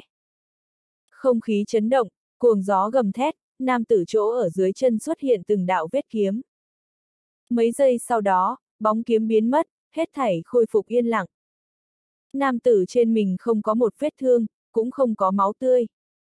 Hắn nhìn một cái diệp thần, cười lạnh nói, kiếm pháp của ngươi khí thế ngược lại là dọa người, nhưng là căn bản không gây thương tổn được ta, ha ha. Phải không? Diệp thần đã đem chảm long kiếm thu hồi, hai tay chắp sau lưng, khóe miệng nụ cười lạnh như băng hết sức. Đột nhiên, chàng trai nụ cười đọng lại, hắn chợt cúi đầu, nhưng phát hiện trên người mình xuất hiện vô số đạo vết kiếm. Quần áo hắn hoàn toàn vỡ vụn. Từng đạo máu tươi bắn ra, tựa như suối phun. Hắn con người phóng đại, con người kinh hoàng đến trình độ cao nhất. Nguyên lai thằng nhóc kia kiếm ý giờ phút này mới hoàn toàn bùng nổ. Làm sao có thể? Hắn lại có thể chết ở một cái nhất bất tiết nhất cố mục tiêu trên tay. Ngươi là... Hắn lời còn chưa nói hết, thân thể liền nổ bể ra. Chia năm xẻ bảy. Sức sống hoàn toàn không có. Diệp thần thở ra một ngụm chọc khí, hắn sau lưng đã ướt đẫm. Là huyết chạm một kiếm này quá hao phí tinh khí thần. Hắn đan điền cơ hồ không có chân khí. Bây giờ ta nắm giữ võ quá cao cấp, thân thể ngược lại có chút không theo kịp, dưới mắt phải mau sớm nâng cao mình tu vi. Kinh thành vậy ba gia tộc lớn cùng với u hồn ngục giam khẳng định không đơn giản như vậy, thực lực mới là vương đạo. Ngay tại Diệp Thần cảm khái lúc đó, đá màu đen bay ra, treo lơ lửng ở Diệp Thần trước mặt. Cuồn cuộn hắc phụ phun trào. Một cái ông già áo bào đen đứng ở Diệp Thần trước mặt. Giờ khắc này, chung quanh hết thảy tựa như tự thành lãnh vực. Sát cơ lạnh như băng giống như rơi xuống ngục. Ông già áo bào đen nhìn một cái Diệp Thần, nhàn nhạt nói, không chỉ là huyết trảm vẫn là phần thiên trưởng, thật ra thì cũng không tính cái gì võ kỹ cao cấp, nhưng là ứng đối hoa hạ dư sức có thừa, trận chiến này, ngươi nhưng có cảm ngộ. Diệp thần gật đầu một cái, hắn có thể cảm giác được trận chiến này hắn thân thể và tu vi cũng tăng tiến không thiếu. Ông già áo bào đen nhắm mắt lại, chung quanh vô số linh khí cùng với tử khí hướng hắn bao phủ đi. Hắn năm ngón tay một chảo, trực tiếp biến thành một đạo hắc đỏ giao thoa quang cầu. Một giây kế tiếp, hung hãn hướng Diệp Thần đỉnh đầu huyết long hư ảnh đập tới. Bành! Ánh đỏ đại tác, long ngâm từng cơn. Diệp Thần kinh hãi phát hiện huyết long hư ảnh khổng lồ mấy phần. Ông già áo bảo đen hài lòng gật đầu một cái, nói ta hỏi ngươi cảm ngộ không phải hỏi ngươi tu vi như thế nào, mà là cái này huyết long hư ảnh. Có thể là bởi vì ngươi công pháp tu luyện duyên cớ, cái này huyết long hư ảnh trở thành ngươi sát lục chi đạo chịu đựng. Ngươi giết càng nhiều người, cũng hoặc là tức giận càng mạnh, điều này huyết long hư ảnh lại càng phát đáng sợ. Nó trưởng thành, chính là ngươi trưởng thành. Nó mạnh, ngươi thì mạnh. Như một ngày kia nó trở thành vạn trường huyết long, tán loạn thiên hạ. Đó chính là ngươi thành tựu cao nhất sát đạo lúc. Đến lúc đó, ngươi liền Phật ngăn cản giết Phật, thần ngăn cản sát thần. Ngày hôm nay, lấy ngươi thực lực căn bản không có thể chém chết đối phương, là điều này huyết long hư ảnh cứu ngươi. Nhớ, sau này như đụng phải cường địch, máu này long so ngươi kiếm trong tay còn có dùng. Ông già áo bảo đen nói xong, liền hóa là một đạo hắc phụ, tiêu tán ở giữa trời đất. Diệp thần nhìn một cái đỉnh đầu huyết long hư ảnh, cái này hình thể và vạn trượng tranh lệch vậy quá xa đi. Bây giờ, phỏng đoán cũng chỉ một chiếc xe chở hàng chiều dài. Hắn thu hồi khí tức trên người, huyết long từ trên trời hạ xuống, chui vào hắn trong thân thể. Huyết sát ẩn núp. Sau đó, Diệp thần ăn vào mấy viên thuốc, hắn có thể cảm giác được toàn thân cao thấp cảm giác mệt mỏi biến mất mấy phần. Hắn vậy không cần thiết ở lâu, thẳng tiếp nhận lầu, hướng áo thể quảng trường bên ngoài đi. Đến cửa, hắn nhận được Hạ Nhược Tuyết và Tôn Di về đến nhà WeChat, liền dự định để cho tiểu đảng tới đón hắn. Điện thoại còn không có phát hình, một chiếc đỏ rực xe thể thao liền dừng ở trước mặt hắn. Cửa kiếng xe từ từ rơi xuống, chỗ điều khiển một cái đeo kính mát thiếu nữ hướng Diệp Thần phất phất tay. Thiếu nữ một đầu tóc đen dài xoăn hoa văn vừa đúng lúc, bắp đùi thon dài ăn mặc một cái bạch lam giao tiếp váy, hiện ra vóc người hoàn mỹ tuyệt luân. Thân thể khẽ nghiêng, đối với thở chi muốn bay đỉnh núi, nửa trận nửa che, quy mô không quá to lớn, nhưng hình dáng yêu mỹ, mới vừa có thể để cho trưởng thành phái nam một tay nắm giữ dáng vẻ, váy dưới, phơi bày ra một đoạn trắng nõn chân thon dài. Diệp tiên sinh thiếu nữ tháo xuống kính mát, cười tủm tỉm nói. Diệp thần vốn đang nghi ngờ mấy phần, khi thấy cô gái hình dáng, liền bừng tỉnh tới đây. Tỉnh chiết giang của Chu gia Chu Nhã. Lần trước chảm long kiếm tụ bổ sau đó, hai người liền không có lại thấy qua. Diệp tiên sinh, nếu như không ngại, liền lên xe đi. Diệp thần gật đầu một cái, đưa điện thoại di động bỏ vào túi, cửa xe mở ra, khẽ khom người liền ngồi xuống. Người tại sao lại ở chỗ này? Diệp thần hiếu kỳ nói. Chu Nhã chậm rãi đạp cần ga, mặc dù rất nhẹ, nhưng là tiếng nổ vẫn là vang lên. Nàng cười một tiếng, bây giờ toàn bộ tỉnh Chiết Giang, cơ hồ tất cả thế lực cũng đang chú ý Diệp tiên sinh chiều hướng, Chu gia ta tự nhiên cũng là như vậy. Ta chiều hướng, Diệp thần nhíu mày một cái. Chu Nhã một bên điều khiển tay lái vừa nói, Diệp tiên sinh có chỗ không biết, tỉnh Chiết Giang thế cục đã trải qua một lần hoàn toàn xào bài, bây giờ trên mặt nổi Diệp tiên sinh đã thành là tỉnh Chiết Giang người thứ nhất, chỉ cần những cái kia ẩn núp ở tỉnh Chiết Giang chỗ sâu người không nhúc nhích, Diệp tiên sinh chiều hướng tất nhiên sẽ bị chú ý, những gia tộc lớn kia và thế lực cũng không muốn mình tiểu bối đắc tội Diệp tiên sinh đây. U hồn ngục giam đầu mối. Diệp thần ngược lại là không nghĩ tới mình chiều hướng lại bị nhiều người như vậy chú ý, hắn nghĩ tới điều gì, hiếu kỳ nói, trong miệng ngươi ẩn núp ở chỗ sâu người là ý gì. Chu Nhã nhìn một cái Diệp thần, giải thích Chu gia ta là cường giả đúc kiếm không biết nhiều ít năm, biết sự việc tự nhiên so người bình thường phải nhiều, tỉnh chiết giang chỗ sâu thật ra thì còn có một chút thế lực ẩn núp, chỉ bất quá bọn họ không thích đấu tranh mà thôi, nhưng là một khi chạm được bọn họ lợi ích, bọn họ tất nhiên là tỉnh lại sư tử đực, một hớp là có thể cắn chết một người thế lực to lớn. Diệp thần trong mắt nhìn chằm chằm Chu Nhã gò má, đột nhiên đang suy nghĩ, Chu Nhã tin tức đường dây như vậy rộng, mạng giao thiệp thông trời, sẽ sẽ không biết u hồn ngục giam sự việc. Diệp Lăng Thiên mặc dù đã chạm đến một ít thứ, nhưng đều bị một tầng lực lượng trở ngại. Mà Long hồn là quan phương thế lực, lôi thụ vĩ có thể tiếp xúc được đồ không phải cao cấp nhất đừng, hắn biết hoa hạ có u hồn ngục giam, lại không có quyền hạn tra xem. Dưới mắt Chu Nhã có lẽ biết cái gì? Diệp thần không do dự nữa, nói thẳng, Chu Nhã, người có biết hay không hoa hạ có một chỗ kêu u hồn ngục giam? Suy. Đột nhiên, Chu Nhã thắng xe đạp một cái, trực tiếp dừng lại. Nàng vật mắt đẹp tò mò nhìn chằm chằm Diệp thần, ngực trắng như tuyết lại là không ngừng phập phồng. Diệp tiên sinh, ngươi làm sao nghĩ được hỏi cái này? Chu Nhã thanh âm có chút gấp rút và run rẩy. Diệp thần trong lòng vui mừng, đối phương quả nhiên biết. Chu Nhã, u hồn ngục giam đối với ta lại nói rất trọng yếu, nếu như ngươi biết, xin cho biết. Diệp thần một cái sau trực tiếp nắm Chu Nhã cổ tay. Chu Nhã có thể cảm thụ ra Diệp thần ngữ khí kích động, suy nghĩ một chút, liền nói, u hồn ngục giam là hoa hạ cao cấp nhất, nhất xâm nghiêm, thần bí nhất ngục giam, bên trong nhốt trước hoa hạ vô số cường giả, những người này hoặc là trọng tội, hoặc là hoa hạ không cách nào khống chế, hoặc là đối với xã hội làm ra cực đoan chuyện. Người phải biết hoa hạ có chút võ đạo cao thủ nếu như đối với người bình thường làm xảy ra cái gì tới, sự tình kia liền rất nghiêm trọng, đã từng náo động nhất thời niên 99 chấn Bình Dương biến mất chuyện chính là một vị võ đạo cường giả nơi là, mấy ngàn người một đêm bây giờ bị chém chết, chấn Bình Dương càng bị san thành bình địa. Hoa hạ đương cục xài rất lớn tinh lực và vô số cường giả mới bắt chọc người, cũng đem nhốt vào liền u hồn ngục giam. Những năm gần đây, một ít hoa hạ mê hoặc không giải trừ hoặc là thảm án diệt môn đều bị hoàn toàn phong tỏa tin tức, người bình thường căn bản không có biện pháp rõ ràng, cho dù có người chính mắt làm chứng cũng sẽ bị lau đi trí nhớ. Quan hệ đến những chuyện này người cơ hồ đều bị nhốt ở u hồn ngục giam. Cái này cũng tạo thành, bên trong rất nhiều người cực độ cuồng bạo, dùng giết người mắt không nháy cũng không quá đáng.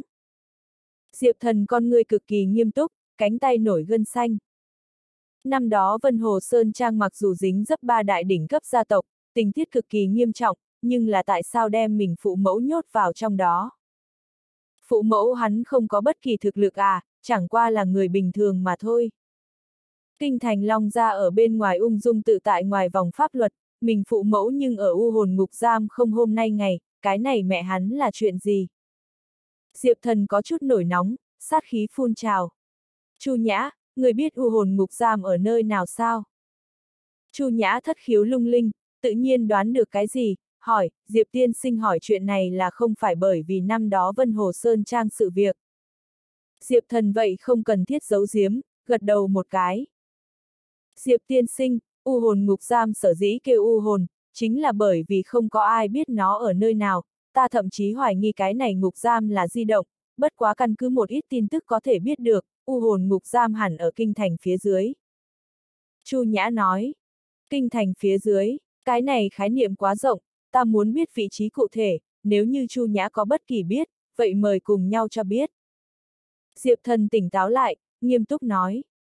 Chu Nhã thâm tư mấy giây, đối với Diệp thần nói, ta đối với u hồn ngục giam chỉ biết là một cách đại khái, nhưng là ta biết một người, hắn từng đi qua u hồn ngục giam. Nếu như ngươi có thể thuyết phục hắn, có lẽ còn có hí. Ai? Chu Nhã từ trong túi sách cầm ra một bộ thiệp mời, phía trên có một cái phồn thể thuốc chữ. Hoa hạ dược minh hạng thừa đông. Diệp thần nhận lấy thư mời nhìn lướt qua, liền phát hiện trên đó viết mình tên chữ, rất hiển nhiên là có người mời mình. Chu Nhã giải thích, Diệp tiên sinh, ta tới hôm nay tìm ngươi chính là vì cái này bộ thiệp mời, ngày mốt, Hoa Hạ Dược Minh người quản lý giải hạng thừa đông ở tỉnh Chiết Giang Dược Vương Cốc đặt tiệc, chiều mộ Chiết Giang quần hùng làm chứng một viên đan dược ra đời, bọn họ không không mời ta, tự nhiên vậy mời Diệp tiên sinh. Hoa Hạ Dược Minh. Đúng, Ta mới vừa nói hoa hạ ẩn núp một ít thế lực đáng sợ, dược minh coi như một cái. Diệp Tiên Sinh hẳn biết hoa hạ đan dược cực kỳ thiếu thốn, đan dược sư cực kỳ chi thiếu, giống vậy võ đạo gia tộc căn bản không chạm được tới chất lượng tốt đan dược, mà hoa hạ dược minh tồn tại, chính là lấy thảo dược và đan dược phi tôn, bọn họ một mực đang nghiên cứu thượng cổ luyện đan phương pháp, chính là hy vọng có thể luyện chế ra đan dược. Mấy ngày gần đây, Dược Minh một vị cao cấp luyện đan sư nghiên cứu ra một bộ đan dược phương pháp luyện chế, có thể luyện chế đan dược cấp 3. Cái này chuyện đại sự cơ hồ rung động toàn bộ chiết giang sĩ tới hoa hạ võ đạo giới, phải biết toàn bộ chiết giang khiến cho không người nào có thể luyện chế ra đan dược cấp 3, một khi đan thành, hoa hạ dược minh tất nhiên thành là vô số thế lực tranh đoạt đối tượng. Hạng thừa đông thân phận cũng biết nước lên thuyền lên, cho nên lần này, là hạng thừa đông ở vô số cường giả trước mặt lộ ra thực lực cao nhất cơ hội. Diệp thần diễn cảm có chút cổ quái. Ban đầu ở Ninh Ba đấu giá đan dược, hắn liền ý thức được hoa hạ đan dược thưa thớt, nếu không đám người kia cũng không biết giành cướp. Hắn vốn cho là là Ninh Ba quá nhỏ, dõi mắt toàn bộ hoa hạ phải có chút đan dược cao cấp sư tồn tại. Bây giờ nhìn lại, hoa hạ có thể luyện chế đan dược căn bản không có mấy cái. Chính là đan dược cấp 3 thì phải làm như thế hưng sư động chúng. Còn chiêu mộ chiết giang quần hùng. Hắn bây giờ cũng có thể luyện chế đan dược tứ phẩm, đây còn không phải là treo đánh hết thảy. Mấu chốt cái này hoa hạ dược minh và u hồn ngục giam có quan hệ thế nào? Tựa hồ cảm giác được Diệp thần nghi ngờ, Chu Nhã lại nói, Diệp thiên sinh có chỗ không biết, hạng thừa đông không riêng gì dược minh người quản lý dài, còn là một vị y đạo thánh thủ, u hồn ngục giam đã từng có ba người sắp gặp tử vong, đều là hạng thừa đông xuất thủ cứu hồi, hắn nếu như không biết u hồn ngục giam, vậy hoa hạ tất cả mọi người đều không có tư cách biết. Diệp thần đem thiệp mời nhận lấy, đáp ứng nói, được, ngày đó ta và ngươi cùng đi. Bỏ mặc nói thế nào, cái này hạng thừa đông là u hồn ngục giam duy một đầu mối. Nếu đối phương thích đan dược, chẳng qua mình trước thời hạn luyện chế một cái đan dược tứ phẩm đưa cho hắn. Hắn cũng không tin đối phương còn không giao đại u hồn ngục giam sự việc. Chu Nhã khóe miệng nở rộ một đạo nụ cười, nàng dọc theo đường đi vẫn còn ở quấn quyết nói thế nào phục Diệp tiên sinh, bây giờ nhìn lại hoàn toàn là không phí nhiều sức à. Nếu như có Diệp tiên sinh cùng chung đi trước, nàng chu ra lần này cũng sẽ không giống chi mấy lần trước như nhau mất thân phận, vô cùng chật vật. Mấu chốt diệp thần võ lực bá đạo, có thể cùng loại này cao cấp cường giả trói, hoàn toàn là đứng ở chỗ bất bại à. Chu Nhã chạy, xe tiếp tục tiến về trước, Diệp tiên sinh, vậy hôm nay ta liền đem người đưa về biệt thự Minh Thúy, sáng ngày mốt 8 giờ, ta lái xe tới đón Diệp tiên sinh, dược phương cốc ở tỉnh Chiết Giang lang ra núi chỗ sâu, đường xe không xa. Được. Diệp thần con người rơi vào trầm tư, ngày đó hắn phải đánh thế nào dò tin tức. Kinh thành một nơi tứ hợp viện. Một vị ông già đang cùng một cái trung niên nam tử đánh cờ. Hai người bên ngoài tựa như, dĩ nhiên là quan hệ cha con. Giang kiếm phong rơi xuống một con trai, nhìn một cái trước mặt cụ già, lại đem lời đến khóe miệng nuốt xuống. Ông già vậy rơi xuống một con trai, dẫn đầu mở miệng trước, kinh thành vậy đạo sóng gió coi như là đi qua, ngang trời xảy ra chuyện vị cường giả kia cơ hồ nghiền ép hơn 10 vị cao cấp cường giả. Hoa hạ tông sư bảng trừ không có ở đây kinh, cơ hồ đều bị người nọ tìm một lần, chết chết, bị thương tổn thương, lần này kinh thành thật tổn thất thảm trọng. Vốn là ta giang ra cũng làm xong ứng đối chuẩn bị, vậy hỗn thế ma vương thật giống như đột nhiên biến mất, ta không biết cái này ý vị như thế nào, là cảnh cáo vẫn là cừu hận.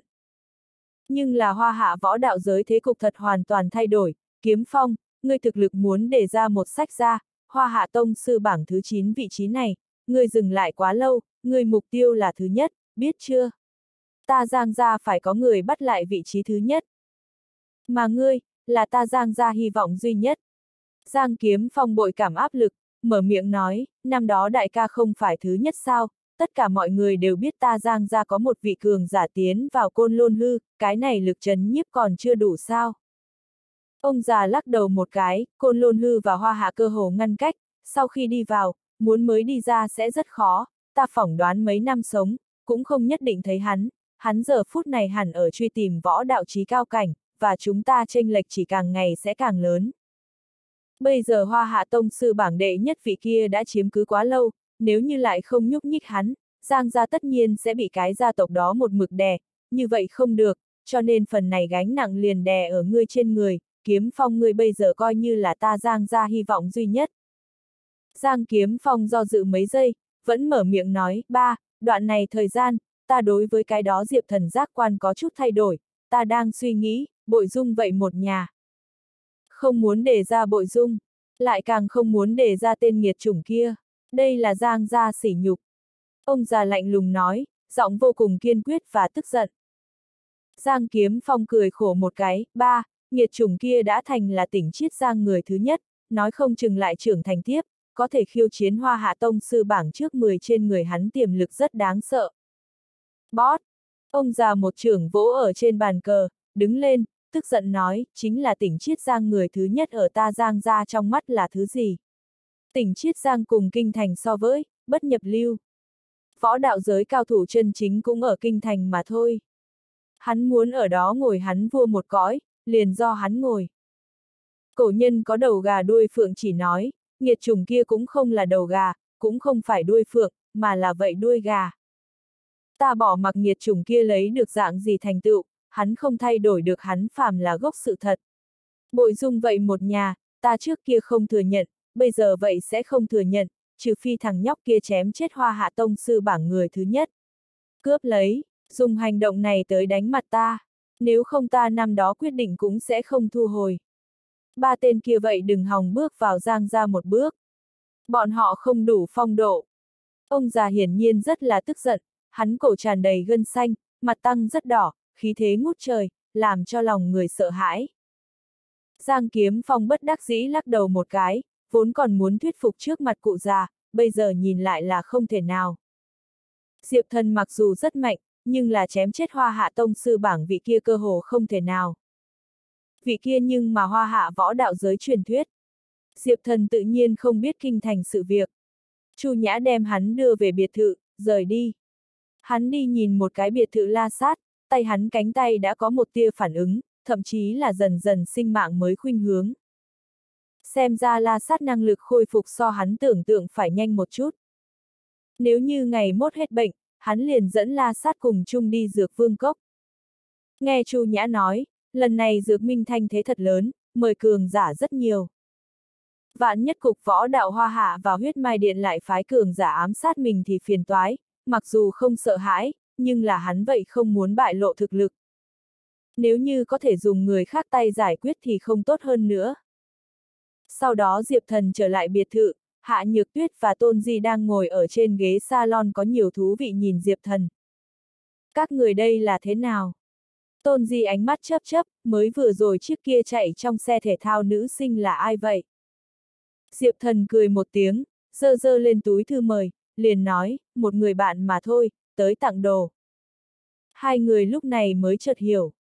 Tôn Di nghĩ tới điều gì, lại nói, Diệp Thần, mới vừa rồi ta và Nhược Tuyết thương lượng hồi lâu, ta hai người chúng ta cũng muốn học ít đồ tự vệ, Ngươi lên lần không phải nói muốn giúp ta tìm cái gì thích hợp nữ sinh tu luyện công pháp sao, bây giờ có tin tức không? Diệp Thần vỗ ót một cái, cái này mới nhớ ra cái gì đó. Cùng ta một chút.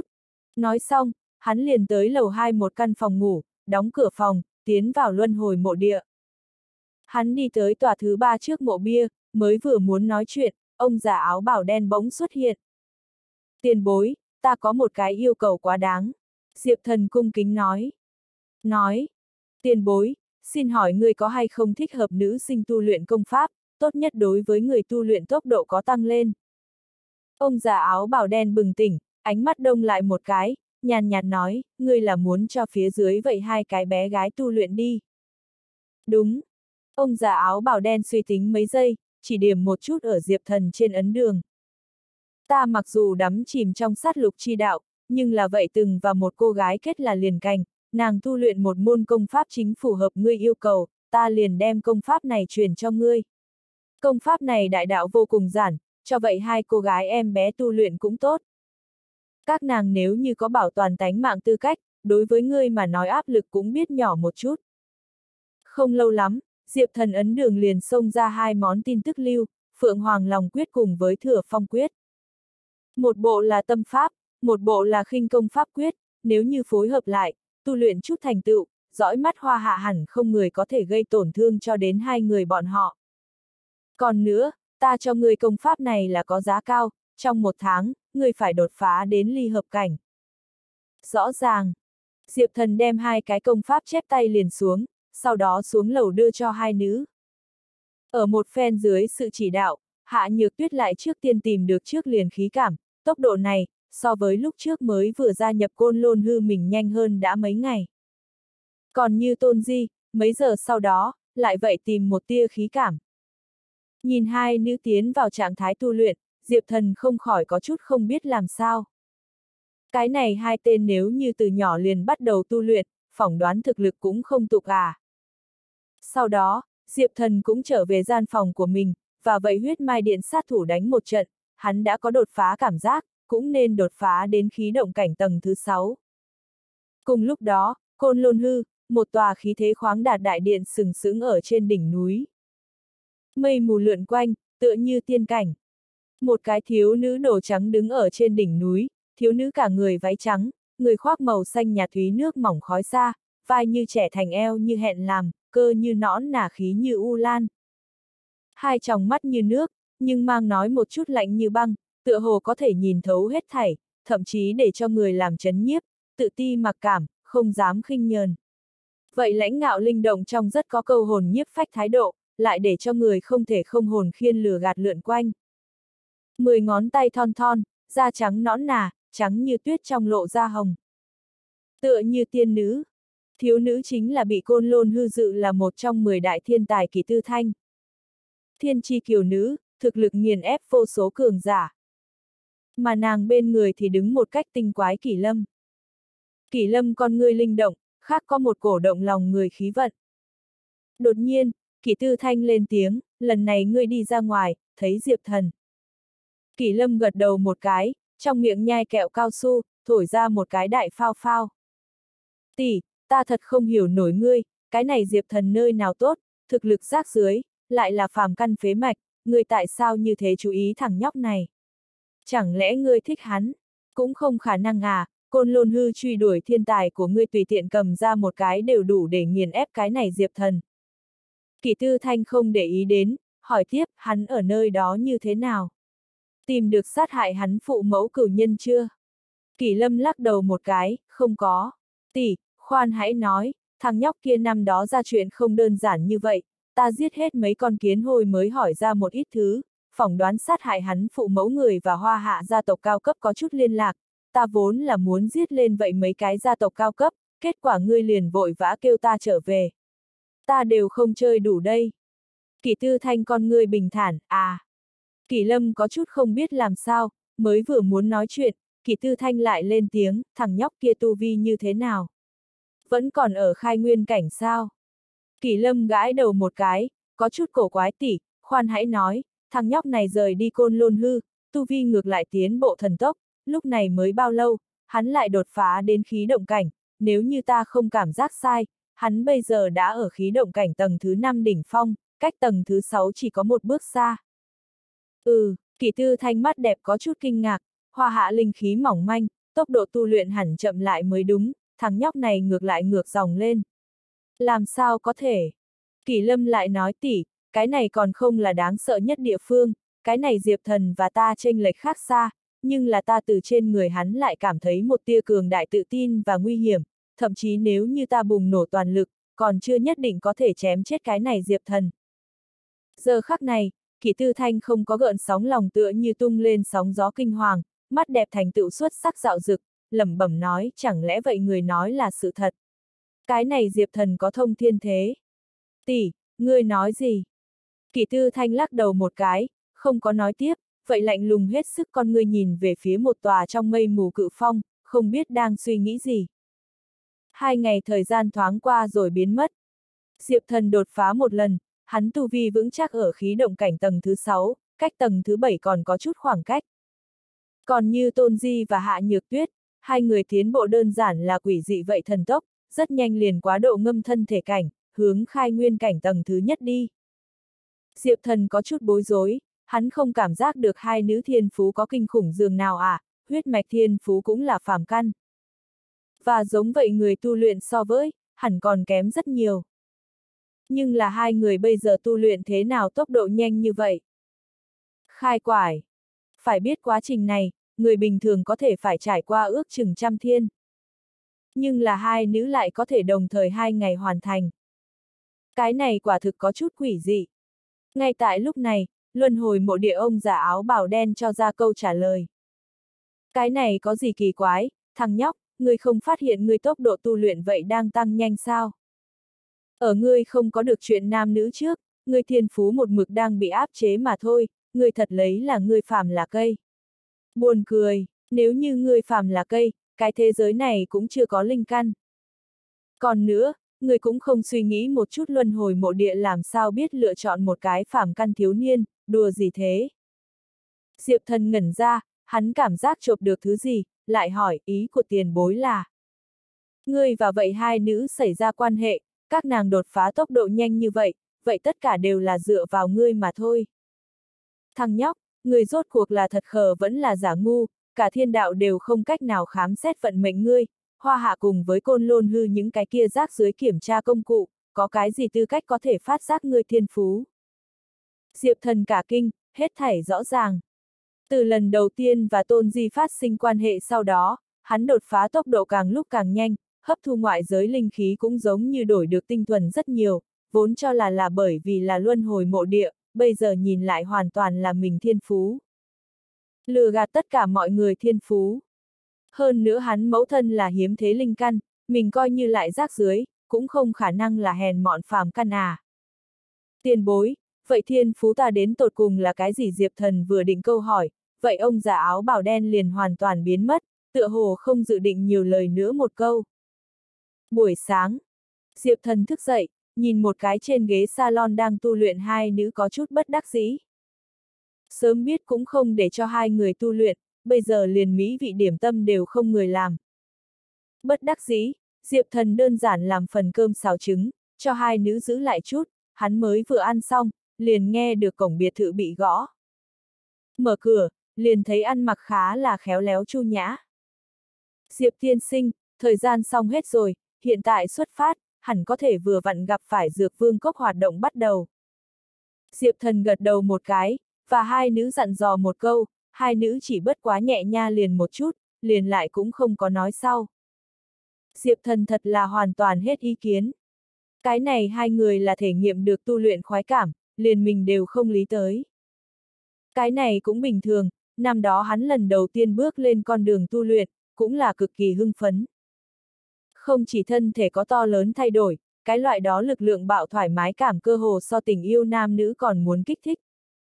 Bất quá ba ngày sau, cái này cảm giác hưng phấn cũng chưa có, thay vào đó là khô khan, phỏng đoán cùng hắn trở về, hai người liền tu luyện dự định cũng không có. Diệp thần đi cách vách biệt thự nhìn một cái la sát, cánh tay chưa có hoàn toàn hết bệnh, hắn liền buông tha mang theo hắn dự định, trực tiếp lên chu nhã xe Bentley. Xe chạy tung bụi, hướng dược vương cốc phương hướng đi. Đúng rồi, Diệp tiên sinh, Dược Minh và Cục Võ Đạo Hoa Hạ là quan hệ hợp tác, đến lúc đó nhất định sẽ có Cục Võ Đạo Hoa Hạ lãnh đạo ra mặt, cái này hẳn không thành vấn đề đi. Chu Nhã từ kính chiếu hậu nhìn một cái Diệp Thần, có chút bận tâm. Diệp Thần lắc đầu một cái, chỉ cần bọn họ không chọc ta, ta tự nhiên không nhúc nhích bọn họ, nhưng là bọn họ nếu như không biết điều, vậy thì không trách ta. Trên đường, Diệp Thần liền ngồi ở xe Bentley phía sau đóng chặt tròng mắt. Một tia nhàn nhạt khí lưu ở hắn quanh thân bàn lượn quanh. Chu Nhã nhiều lần từ kính chiếu hậu nhìn mấy lần Diệp Thần, không biết hắn đang suy nghĩ gì. Thân phận đặc thù của nàng, từ nhỏ đến lớn căn bản không có cho người làm qua tài xế. Ngày hôm nay ngược lại tốt, đưa cái này lần đầu tiên cho Diệp Thần. Bất quá Diệp Thần ngồi ở phía sau, nàng có thể cảm giác được một loại an lòng. Cái này hoặc giả chính là cường giả khí thế đi. Diệp tiên sinh, đại khái còn có 10 phút đã đến. Chu Nhã mở miệng nói. Được. Chu Nhã lái xe cực kỳ chi ổn, cơ hồ không có cưỡng ép thắng xe, để cho Diệp Thần ngược lại là hưởng thụ hết sức. Đột nhiên, sau lưng truyền đến hai tiếng nổ cực mạnh. Chu Nhã từ kính chiếu hậu nhìn lướt qua, ngay tức thì phát hiện hai chiếc kinh xe thể thao cấp tốc cướp tới. Một đỏ trắng nhợt, không thể nghi ngờ là ở đua xe. Làm nàng chú ý tới bảng số xe lên con số cụ thể thời điểm, sắc mặt tái nhợt liền mấy phần. Trong đó một chiếc lại là kinh thành võ đạo gia tộc lạc gia xe. Còn như một chiếc khác, mặc dù không biết lai lịch, nhưng là từ con số tới xem, sau lưng nội tình tuyệt đối không kém. Lúc này, cái này hai chiếc xe đồng thời xuất hiện ở đây con đường lên, tất nhiên cũng là được Dược Minh mời. Mấu chốt xe này tốc, là không muốn sống nữa sao? Nơi này rõ ràng giới hạn tốc 70, nhưng là bọn họ tốc độ hiển nhiên sắp 180. Người điên. Bất đắc dĩ, Chu Nhã chỉ có thể đem xe Bentley hướng một bên tới gần. Nhưng là hai chiếc xe kia căn bản không có né tránh Chu Nhã dự định, sông ngang đánh thẳng tới. Nguyên bản chỉ có thể thông hơn một chiếc xe nói, rất miễn cưỡng muốn đồng hành. Sau lưng lại là đè điên cuồng loa. Chu Nhã mặt đẹp hàn xương, chỉ có thể tăng thêm tốc độ. Ai ngờ vậy hai chiếc tốc độ xe thể thao nhanh hơn, trong đó một chiếc xe lại là trực tiếp lướt qua xe Bentley xông ra ngoài. Xe Bentley né người ngay tức thì lóe ra kịch liệt tia lửa. Chu Nhã hoàn toàn bị sợ. Mấu chốt đây vẫn chưa kết thúc. Sau lưng chiếc kia màu trắng xe thể thao gặp mình lạc hậu, hiển nhiên cho rằng đầu sỏ chính là vậy xe Bentley, không do dự nữa, lại là trực tiếp hướng xe Bentley đánh tới. Bành! Thân xe chấn động. Chu Nhã trong tay tay lái trượt một cái, thân xe trực tiếp hướng một bên vách đá phóng tới. Vách đá cao trăm trượng, đây nếu là té xuống, tất nhiên xe hư người chết. Chu Nhã lòng bàn tay tất cả đều là mồ hôi. Nhưng là xe đã hoàn toàn mất khống chế. Nàng thậm chí thấy được chiếc xe thể thao kia cửa kiếng xe chậm rãi quay xuống, một ngón tay giữa đưa ra ngoài. Còn có một bản cực kỳ mặt khinh thường bàng. Ánh mắt kia lạnh như băng. Giống như người trên xe số mệnh và hắn không có bất luận quan hệ gì. Cái này chẳng lẽ liền là tới từ kinh thành cuồng ngạo. Chu Nhã chỉ có thể trơ mắt nhìn kinh xe thể thao lái rời. Nàng cố gắng khống chế tay lái, tận lực điều chỉnh phương hướng. Thắng xe đạp ở. Giờ khắc này, nàng căn bản không dám dùng sức. Một khi dùng sức, toàn bộ xe cũng biết lật hết à. Nhưng là hết thảy các thứ này căn bản không có dùng. Mắt xem xe Bentley thì phải rơi vào vách đá, đột nhiên, quỷ dị đột biến. Sau cửa kiếng xe trực tiếp phá vỡ. Một cổ cường đại khí lưu bao quanh thân xe, mặt đất sao hỏa tránh tốc, làm cho lòng người sợ hãi. Thân xe tốc độ bỗng nhiên hạ xuống, giống như bị một đạo lực lượng cưỡng ép khống chế. Chu Nhã ý thức được cái gì, quay đầu, phát hiện Diệp Thần trong mắt cực kỳ bình tĩnh và lạnh như băng.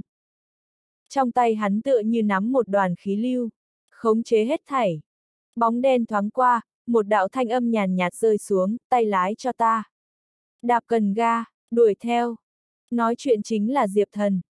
Hắn tự nhiên cảm giác được xe mất khống chế. Vốn cho là là bởi vì là con đường này tương đối khó mở, lại không nghĩ rằng, xe phương hướng đã hoàn toàn không thể khống chế. Hắn mở mắt ra nháy mắt, liền thấy vậy ngón giữa và lạnh nhạt nụ cười. Vậy hai chiếc xe thể thao không thể nghi ngờ là ở mưu sát. Tối đa chỉ có hai chiếc xe thông hành đường, rất miễn cưỡng muốn đồng hành và qua mặt xe. Tự tìm cái chết. Diệp thần cảm giác trong lòng có đoàn lửa giận. Vốn là coi như không tệ tâm tình, trực tiếp bị hủy. Mấu chốt cuối cùng đối phương vậy cái động tác, để cho hắn thốt nhiên giận dữ. Chu Nhã kịp phản ứng, phương hướng đã hoàn toàn bị khống chế, nàng trực tiếp đạp ở cần ga, ầm. Một tiếng, xe xông ra ngoài. Mà Diệp thần tay đã xuyên qua Chu Nhã sợi tóc, khống chế hết thảy. Giờ phút này, chỉ cần hắn cúi đầu, là có thể thấy được Chu Nhã ngạo nhân đầy ấp. Bởi vì chỗ tài xế ngồi hẹp hòi, tay hắn cánh tay nhiều lần không giới kinh ý đụng phải Chu Nhã vậy co giãn 10 phần ngực, Chu Nhã mặt đẹp ửng đỏ. Nhưng là Diệp Thần không có một tia phản ứng. Lại tăng tốc. Được. Chu Nhã cơ hồ đem cần ga đạp phải trình độ cao nhất, thời khắc này động tác mập mờ mà vừa nguy hiểm. Nhưng là ở nàng trong mắt nhưng là vô cùng an lòng. Rất nhanh, hai người liền thấy trong đó một chiếc xe thể thao bóng dáng, Diệp Thần trong mắt hiện lên một tia sát ý. Chu Nhã, người bây giờ leo đến kế bên người lái đi, nịt chặt dây an toàn. Được. Chu Nhã có chút cổ võ căn cơ, né người sang một bên, liền đi tới kế bên người lái. Bởi vì ăn mặc váy, động tác biên độ hơi lớn, váy lên quen, màu hồng hấp dẫn quần lót hiển lộ không thể nghi ngờ. Diệp thần tự nhiên chú ý tới, không có nói gì nhiều, chớp mắt bây giờ liền vững vàng ngồi ở chỗ điều khiển. Thậm chí liền dây nịt an toàn cũng lười được hệ, nhấn cần ga một cái, chợt xông ra ngoài. Bởi vì không sai biệt lắm sắp đến dược phương cốc, hai chiếc tốc độ xe thể thao chậm lại. Nhưng là xe Bentley tốc độ nhưng là càng lúc càng nhanh. Cường đại tiếng nổ tựa như nổ. Màu trắng xe thể thao nam tử cũng là nghe được động tính, thầm mắng một tiếng, cái nào sát ép, lúc này còn tăng tốc độ. Hắn nhìn lướt qua kính chiếu hậu, diễn cảm có chút không đúng. Xe Bentley lại có thể không té xuống. Làm sao có thể? Cái loại đó tốc độ và đụng hạ, đối phương rõ ràng mất khống chế, làm sao có thể không ra chuyện. Ngay tại hắn nghi ngờ lúc đó, tiếng nổ càng ngày càng gần. Chỉ một một giây, xe Bentley trực tiếp và hắn cũng giá tể khu. Diệp thần mở cửa sổ ra, giống vậy cây một ngón tay giữa. Một giây kế tiếp, tay lái một chuyển, trực tiếp hướng màu trắng xe thể thao đánh tới. Một màn này, đột nhiên đến trình độ cao nhất. Cái đó nam tử căn bản không nghĩ tới đối phương sẽ làm ra loại này được là. Người điên. Triệt triệt để để người điên. Lúc này đến phiên xe hắn thân mất khống chế. Cũng may hắn đua xe thói quen, thông qua mình tốt đẹp xử lý, trực tiếp đem xe ổn định lại. Ngay tại hắn chuẩn bị thở dài một hơi lúc đó, xe Bentley lại là vò tới. Bành! Một tiếng vang thật lớn, xe Bentley trực tiếp đem màu trắng xe thể thao đụng đi ra ngoài. Màu trắng xe thể thao thân xe trực tiếp lướt qua vách núi, sao hỏa nổ tung. Thấy một màn này, chàng trai con người đều là kinh hoàng. Cái này mẹ hắn là muốn giết người.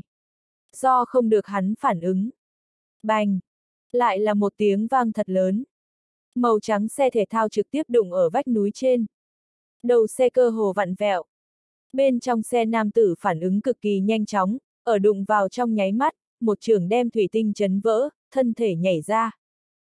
Trên mặt đất lộn ước chừng 10 vòng, mới hoàn toàn dừng lại. Mấy giây sau đó, cả người tiếng nổ vang lên, màu trắng xe thể thao trực tiếp hóa là một đạo kinh lửa trời quang. Thấy một màn này, cái đó từ màu trắng chạy trên xe xuống, trên mặt có chút chảy ra nam tử, sau lưng đã toàn bộ ướt đẫm. Ai có thể nghĩ tới sống chết ở thời gian vừa niệm. Hắn gắt gao nhìn chằm chằm chiếc kia chậm rãi ngừng ở ven đường xe Bentley. Trong mắt hiện lên sát ý lạnh như băng. Từ hắn sanh ra được bắt đầu, liền không người nào dám đánh hắn lạc tử nghiêu chủ ý. Thời khắc này hắn rất tức giận. Hậu quả cực kỳ nghiêm trọng. Hắn ánh mắt rơi vào xe Bentley tỉnh Chiết Giang bảng số trên. Nếu như là kinh thành bảng số, hắn có thể còn biết kiêng kỵ mấy phần. Còn như tỉnh Chiết Giang bảng số, ha ha, hắn thật đúng là nhìn không thuận mắt. Trên người hắn sát ý ngút trời, từng bước từng bước hướng xe Bentley đi. Trước mặt một chiếc khác màu đỏ xe thể thao cũng là chú ý tới chuyện bên này cố, vội vàng dừng xe ở một bên. Cửa xe mở ra, một cái đầu đinh sát nam tử từ trên xe bước xuống. Đầu đinh sát nam tử trên mình hiện lên tốt võ đạo hơi thở. Hắn nhìn một cái khí thế hung hăng lạc tử nghiêu, vừa liếc nhìn hóa là ánh lửa xe thể thao, cau mày. Xảy ra tai nạn xe cộ. Mà xa xa, xe Bentley cửa vậy mở ra. Chu Nhã và Diệp Thần dối rít đi xuống. Lạc tử nghiêu thấy bên trong xe lại đi ra một cái như này xinh đẹp cô gái, trong lòng hơi kinh hãi. Nhưng đây cũng là trong nháy mắt mà thôi, hắn vậy ánh mắt lạnh như băng rơi vào Diệp Thần trên mình. Cực kỳ là máu và hung ác. Người mẹ hắn lái xe thế nào? Ngươi có biết hay không mới rồi thiếu chút nữa hại chết lão tử? ngươi biết bố đây là ai chăng? ngươi mẹ hắn người không chọc nổi. Lạc tử nghiêu chửi rủa gầm thét. Diệp thần không nói gì, yên lặng đốt một điếu thuốc, liền nhìn như vậy đối phương mắng. Thần sắc rừng rưng. Nhưng là Chu Nhã có thể cảm giác đến cái này rừng rưng hạ là biết bao sát cơ lạnh như băng. Chu Nhã tầm mắt lại rơi vào lạc tử nghiêu trên mình. Nàng biết, quả nhiên là lạc gia. Mặc dù lạc tử nghiêu là lạc gia nhất không ra hồn thiếu gia, nhưng là hắn đứng sau lưng nhưng mà một đồ vật khổng lồ à. Kinh thành lạc gia là nổi danh bao che. Nếu như lạc tử nghiêu xảy ra chuyện, hậu quả cực kỳ nghiêm trọng. Cố nhiên Chu Nhã đối với Lạc Tử Nghiêu tức giận tới cực điểm, nhưng là nàng cân nhắc thiệt hơn, biết rõ người này tuyệt đối không thể trêu chọc. Diệp thần càng không thể trêu chọc. Hắn căn cơ và thế lực còn không có vững chắc, thậm chí liền tỉnh chiết giang người thứ nhất vị trí còn không có ngồi vững vàng, một khi chạm được kinh thành những gia tộc kia. Tất nhiên nguy hiểm. Chu Nhã cười một tiếng, vội vàng hướng Lạc Tử Nghiêu nói, Lạc Thiếu, trong này có hiểu lầm. Lạc Tử Nghiêu căn bản không mãi hết, trực tiếp mắng, hiểu lầm ngươi ngửa tiền. Số bà nương, cùng lão tử mẹ hắn giải quyết thằng nhóc này, trời nữa chết ngươi. CMN. Hắn thô tục liên thiên, hung ác khí không ngừng phát ra. Rất nhanh, hắn sẽ đến Diệp Thần trước mặt, lại là đưa ngón tay ra trước Diệp Thần, nổi giận mắng, người mẹ hắn. Lời còn chưa nói hết, Diệp Thần bắt lại trong miệng vẫn còn ở bốc lửa tinh nửa điếu thuốc, trực tiếp nhét vào lạc tử nghiêu trong miệng. Hắn năm ngón tay lại là giữ lại lạc tử nghiêu cổ. Kinh người ý định giết người vô tình bao quanh đối phương. Người nói để cho ta rất không thoải mái, người được là để cho ta lại càng không thoải mái. Cho nên, người sẽ chết rất thảm. Thanh âm nhàn nhạt chỉ như vậy rơi xuống, giống như là tử thần thẩm phán. Lạc tử nghiêu có thể cảm giác đến đầu lưỡi nóng bỏng. Vậy có nhàn nhạt sao hỏa tàn thuốc đối với hắn mà nói chính là khuất nhục. Hắn quanh thân kình khí lăn lộn, muốn vùng vẫy diệp thần trói buộc, nhưng phát hiện căn bản không có thể. Ưng ực, tàn thuốc bị hắn trực tiếp nuốt vào. Hắn con người trợn to, thanh âm khàn khàn hô, người dám động ta, người mẹ hắn tìm chết, ta là lạc gia. Lời còn chưa nói hết, Diệp Thần trở tay chính là một cái tát lên ở trên mặt của đối phương. Một tát này, mặc dù không có vận dụng chân khí, nhưng trực tiếp đem Lạc Tử Nghiêu mấy viên răng đánh rớt. Ngươi lại! Lạc Tử Nghiêu muốn nói chuyện, bót, sức lực gió rơi xuống, lại một cái tát quạt xuống. Bót bót bót! Diệp Thần trong mắt từ đầu tới cuối không có một tia chập chờn, mỗi một cái tát cũng đang phát tiết tức giận trong lòng. Nếu như ngồi trên xe không phải hắn, Chu Nhã phỏng đoán sớm đã chết ở vách đá dưới. Hắn thậm chí không dám tưởng tượng, tên này ở chỗ này trước dùng loại phương thức này giết nhiều ít người vô tội. Lạc tử nghiêu trực tiếp bị Diệp Thần rút ra bối rối. Hắn trong con người cuồng ngông hoàn toàn biến mất, thay vào đó sợ hãi. Sợ. Trước mắt cái thằng nhóc này chính là một cái chính cống người điên. Hắn thực lực mặc dù không mạnh, nhưng là người bình thường tuyệt đối có thể đối phó. Có thể dưới mắt, một cổ cực kỳ uy áp kinh khủng bao phủ hắn, để cho hắn một không thể động đậy được. Hắn rất rõ ràng, thanh niên này tất nhiên là một vị võ đạo cao thủ.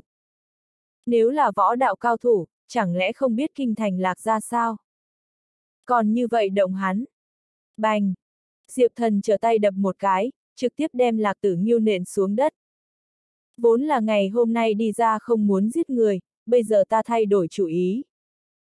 Diệp thần nổi lên sát tâm. Người này không giết, tất nhiên sẽ điên cuồng trả thù. Còn không bằng trực tiếp chém chết, miễn được đêm dài lắm mộng. Cái gì? Lạc tử nghiêu hoàn toàn bị dọa. Thằng nhóc này lại vẫn dự định giết người diệt khẩu. Trời ạ! À, cái này quá mức đi. Đột nhiên, hắn dư quang trong nhìn thấy gì, tựa như bắt được cuối cùng một cây rơm dạ, vội vàng nói trịnh thiếu, cứu ta. Mau cứu ta, cái này người điên con mẹ nó muốn giết ta. Xa xa đầu đinh sát nam tử bước chân một bước, đi tới Diệp Thần trước mặt, nhàn nhạt nói, như thế động bạn ta, không tốt sao? Người biết người dưới chân người đàn ông này là thân phận gì sao? Hắn là người không chọc nổi tồn tại, bỏ mặc ngươi là thân phận gì, đắc tội kinh thành lạc ra, chỉ biết một con đường chết. Buông chân ngươi, sau đó quỳ xuống, ta cho ngươi một cái thi thể nguyên vẹn. Đầu đinh sát chàng trai thanh âm chậm rãi rơi xuống, tràn đầy uy nghiêm vô thượng. Hắn vốn cho là Diệp Thần sẽ làm theo, lại không nghĩ rằng, Diệp Thần căn bản không có để ý tới, một cước trực tiếp dẫm ở lạc tử nghiêu trên mình. Ken két, xương gãy lìa, lạc tử nghiêu trong miệng từng ngụm từng ngụm khạc ra máu tươi. Mặc dù không có chết, nhưng là đã trọng thương. Đầu đinh sát nam tử ánh mắt lạnh như băng đến mức tận cùng, cuồn cuộn ý định giết người hướng Diệp Thần tới, trưởng gió như đao, hung hãn hướng Diệp Thần đánh xuống. Tự tìm cái chết. Diệp Thần một hơi một tí, con người hiện lên một tia nghiền ngẫm. Liền ở đối phương bàn tay muốn rơi xuống nháy mắt, hắn lên tiếng, tốc độ quá chậm. Dứt lời, Diệp Thần năm ngón tay dương ra, tựa như xé không khí, hướng phía trước lấy ra. Dấu móng tay vô cùng kiên định, hung ác, căn bản là sấm sét chi đánh. Sắp đến đầu đinh sát nam tử căn bản không phản ứng kịp. Ca! Thanh thúy chấn nhiếp tiếng xương nứt thật giống như dây pháo kêu vang, đột nhiên dạo dực ở trong không khí. Đầu đinh sát chàng trai bàn tay trực tiếp gãy lìa. Xương trắng lại là lộ ra mấy phần, máu tươi tiệm nhiễm. Giờ khắc này, nửa chết nửa sống lạc tử nghiêu cùng với bị thương đầu đinh sát nam tử bối rối, tựa như gặp quỷ vậy. Làm sao có thể? Tiểu tử này tốc độ và lực lượng lại nghiền ép mình. Ở hai người thuộc về vô tận chấn động phố trong, Diệp Thần năm ngón tay lần nữa xuyên thấu đi, trực tiếp ụp lên đầu đinh sát nam tử bả vai trên. Năm ngón tay giống như cốt sắt xuyên thấu bả vai. Sau đó bỗng nhiên phát lực. Bành! Đầu đinh sát chàng trai thân thể trực tiếp nện ở bên cạnh đậu trên một chiếc xe. Nắp động cơ lõm xuống cực kỳ. Chấn động vang trời. Dược phương cốc, đầu đinh sát nam tử cảm giác được toàn thân mình xương đều giống như dã rời vậy. Khó khăn bị trình độ cao nhất. Hắn phụ thân nhưng mà hoa hạ võ đạo tổng cục chính nhân quyết, cho tới bây giờ không người nào dám để cho hắn bị thương. Lần này tới dược phương cốc, trừ hắn trở ra, thật ra thì còn có mấy vị hoa hạ võ đạo tổng cục lãnh đạo, nhưng là bởi vì hắn vô câu vô thúc thói quen, tự nhiên không thể nào đi theo đám này lão đầu cùng đi.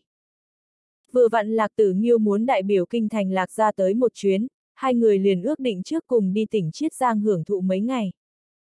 Còn như tùy thân người bảo vệ, hắn căn bản không cần. Chỉ một hắn thân phận, hoa hạ võ đạo giới ai dám động hắn một chút. Hơn nữa hắn võ đạo thực lực coi như không tệ, giống vậy cao thủ căn bản liền gần người quyền lực cũng không có. Nhưng chính là như vậy, thật sự có người động tới hắn. Thậm chí không để ý hết thảy tổn thương. Hắn có thể cảm giác được mình huyết khí dâng trào, khó khăn bị trình độ cao nhất. Chuyện này, người vậy thoát không khỏi liên quan. Diệp thần thanh âm lạnh như băng vang lên. Đầu đinh sát nam tử nhìn Diệp thần vậy thì huyết trong mắt, gần từng chữ ta có thể cảm giác được ngươi võ đạo thực lực không kém, nếu ngươi đến từ võ đạo giới, hẳn rõ ràng cục võ đạo hoa hạ mấy chữ này ý vị như thế nào đi, ngươi động ta, không thể nghi ngờ đắc tội cục võ đạo hoa hạ. Đến lúc đó ta muốn đùa chết ngươi, dễ như trở bàn tay. Bỏ mặc ngươi là ai, ta trên tay tổn thương, còn có trên bả vai đau, ta muốn ngươi ngàn lần trả lại. Nghe được cục võ đạo hoa hạ, Diệp Thần diễn cảm có chút cổ quái. Mình đây là thật muốn cùng cục võ đạo hoa hạ đối địch. Còn không có bước vào dược vương cốc liền cùng đám người này đụng phải. Hắn cười lạnh một tiếng, ta Diệp Thần đắc tội cục võ đạo hoa hạ cũng không phải một lần hai lần, tin không tin ta bây giờ liền dám giết ngươi. Đầu đinh sát nam tử nghe tới Diệp Thần cái này hai chữ ngay tức thì. Con người bỗng nhiên phóng đại. Tim lại là ùm ùm nhảy. Danh tự này. Hắn quá quen thuộc. Phụ thân hắn không biết bởi vì danh tự này phát ra nhiều ít tức giận. Lại là không biết đập bể bao nhiêu bàn ghế.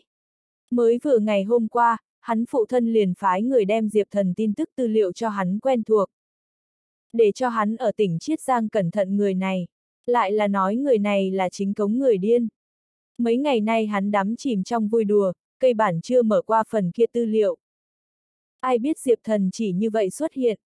Trực tiếp đem lạc tử nghiêu đánh nửa chết nửa sống, lại là tổn thương. Nếu như nói Diệp Thần sẽ động thủ giết hắn, hắn thật tin tưởng à.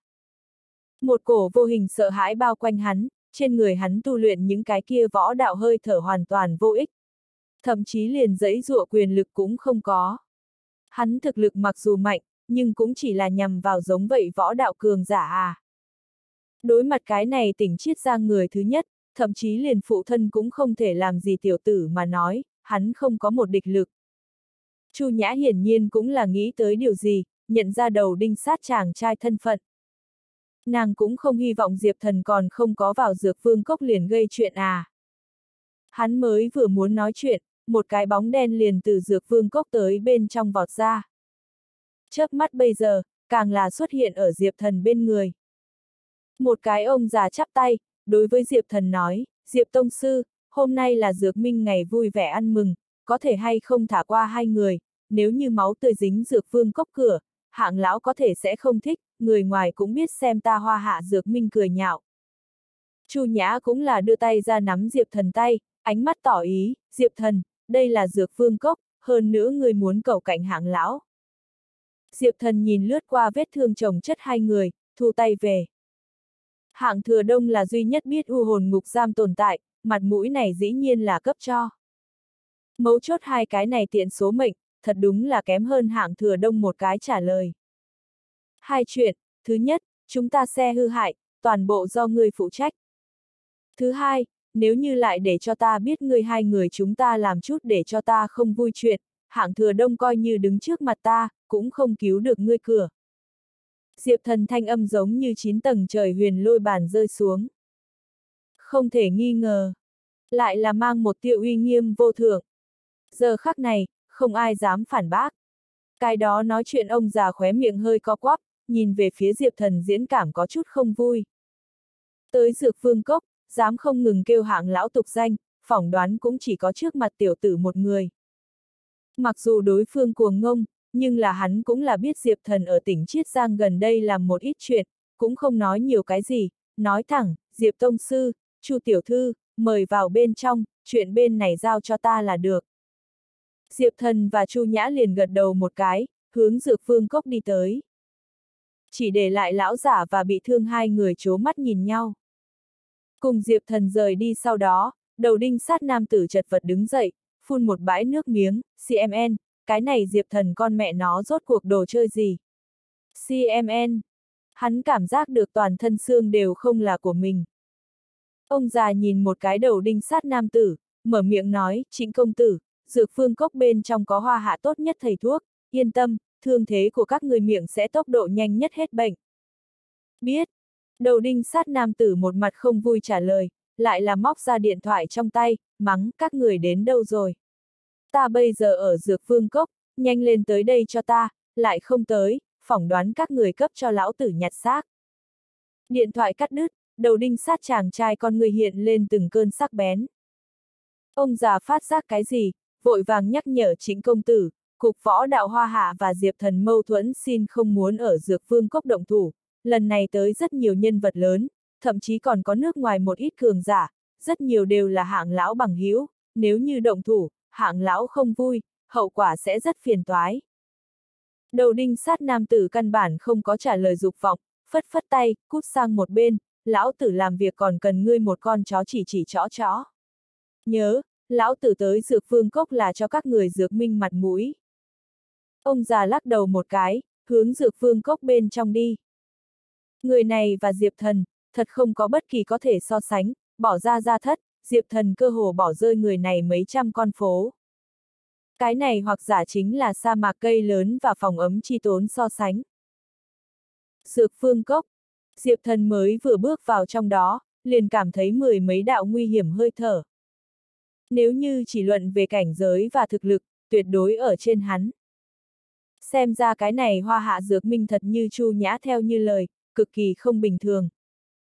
Giờ phút này, dược phương cốc bên trong tụ tập trăm người, toàn thể hoàn cảnh là lộ thiên hình thức. Có sân khấu, có quảng trường, còn có tự giúp khu và khu nghỉ ngơi. Hoàn cảnh yêu nhã, có thể nói người giàu thiên đường. Diệp tiên sinh, đến bên trong, tận lực khống chế mình một chút nóng nảy, trong này có thể không đơn thuần có tỉnh chiết giang võ đạo gia tộc, càng nhiều hơn đến từ hoa hạ tất cả cái địa phương, kinh thành, nước ngoài đều có. Dược Minh ở Hoa Hạ sức ảnh hưởng coi như không tệ, ở võ đạo giới cũng coi là có thể đứng hàng trước 10 thế lực, Hoa Hạ rất nhiều cổ võ giả đối với Dược Minh người đều rất khách khí, dẫu sao muốn đan dược, Dược Minh là lớn nhất đường tắt, còn nữa, cổ võ giả nếu như bị thương, cũng hoặc là sống chết bây giờ, Dược Minh cũng là lựa chọn duy nhất. Hoa Hạ Dược Minh hạng thừa đông, Chu Nhã nhìn một cái Diệp Thần phản ứng, tiếp tục nói, nơi này có y đạo thông thần bác sĩ, cũng có vượt qua cảnh giới thực lực đan dược. Tóm lại, rất nhiều cường giả đều phải xem dược minh sắc mặt làm việc. Coi như cục võ đạo hoa hạ cũng không có tư cách ở chỗ này động thủ. Dược minh sau lưng hạng thừa đông, bỏ mặc thân phận địa vị, hay là thực lực mạng giao thiệp, đều không phải là người bình thường có thể coi như nhau. Chờ một hồi ngươi tận lực tìm cơ hội tiếp xúc người này, dĩ nhiên, hắn không nhất định sẽ gặp ngươi, tóm lại phải thử một chút, đây cũng là ngươi biết u hồn ngục giam duy nhất có thể. Diệp thần nghe Chu Nhã thanh âm gật đầu một cái, ánh mắt nhưng rơi vào chính giữa quảng trường một nơi đan đỉnh trên. Viên thuốc này đỉnh phẩm cấp xa so bách thảo đỉnh mạnh hơn. Mấu chốt còn trải qua khoa học kỹ thuật cải tiến, có một cái chuyên môn đài điều khiển có thể khống chế, vô số dụng cụ tinh vi đang đang vận chuyển. Hắn diễn cảm có chút cổ quái.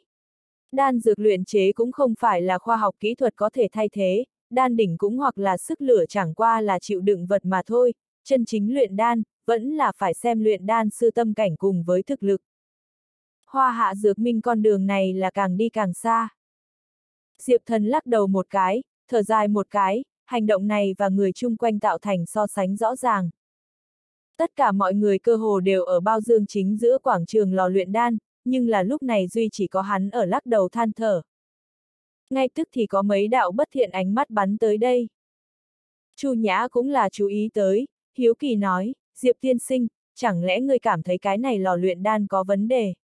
Ta cảm thấy rất được a, à, cùng lúc câu vào, đặc biệt là khống chế sức lửa là cổ nhân căn bản nắm trong tay không được. Diệp thần cười một tiếng, hoa hạ dược minh chẳng qua là học luyện đan ra lông mà thôi, những thứ này dụng cụ tinh vi quá dư thừa. Coi như thành đan, đan dược dược liệu cũng không dai, nói cách khác, luyện ra đan dược là không có linh hồn. Đây là Diệp thần nói thật. Ngay tại lúc này, một đạo tiếng hử lạnh truyền tới. Theo ngươi lời nói, ta hoa hạ dược minh chế tạo 10 năm bảo bối chính là một phế đồng lạn thiết. Những cái kia chế tạo nhân viên đều là phế vật.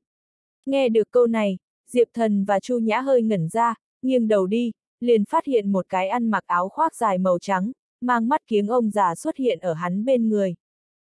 Chu Nhã thấy cái này ông già, môi đỏ mỏng dương ra, theo bản năng lấy tay che. Trước mắt cụ già, chính là lần này dược vương cốc hoạt động mấu chốt nhất nhân viên triệu lâm đào. Tỉnh Chiết Giang thành công nhất luyện đan sư. Không có một trong. Bởi vì đan dược sư cực kỳ khan hiếm, phần lớn đều bị hoa hạ gia tộc cao cấp cũng hoặc là tông môn chiếm, có thể chân tránh tới dược minh làm nghiên cứu khoa học người vô cùng thiếu. Mà trước mắt Triệu Lâm Đào không thể nghi ngờ là dược minh nồng cốt luyện đan sư một trong. Hắn cũng là hoa hạ vị thứ nhất chủ trương đem khoa học kỹ thuật và luyện đan kết hợp luyện đan sư. Mặc dù tài luyện đan không tính là đứng đầu, nhưng cũng là người người kính ngưỡng đại sư à. Mới vừa rồi nàng và Diệp Thần vậy lật lời bàn hiển nhiên là hủy bỏ triệu đại sư hết thảy, chạm đối phương rủi ro. Chu Nhã vội vàng khom người, nói xin lỗi, triệu đại sư, chân thực ngại quá, Chu Nhã hướng ngài nói xin lỗi.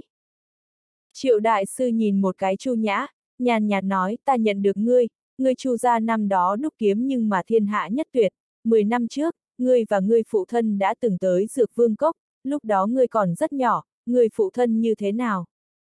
Chu Nhã con người có chút ngạc nhiên mừng rỡ, kích động nói, có thể được triệu đại sư nhớ thật là ta vinh hạnh, ta thân thể của cha rất tốt, mấy năm này một mực đang bế quan. Triệu đại sư gật đầu một cái, sau đó con người rơi vào mặt không cảm giác diệp thần trên mình, thằng nhóc, người mới vừa rồi lời nói, tựa hồ rất hiểu luyện đan.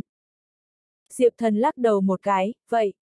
Nếu ngươi không hiểu, có cái gì tư cách đối với ta tâm huyết chỉ chỉ chó chó, hôm nay nếu như đan thành, ta đủ để tái nhập hoa hạ lịch sử.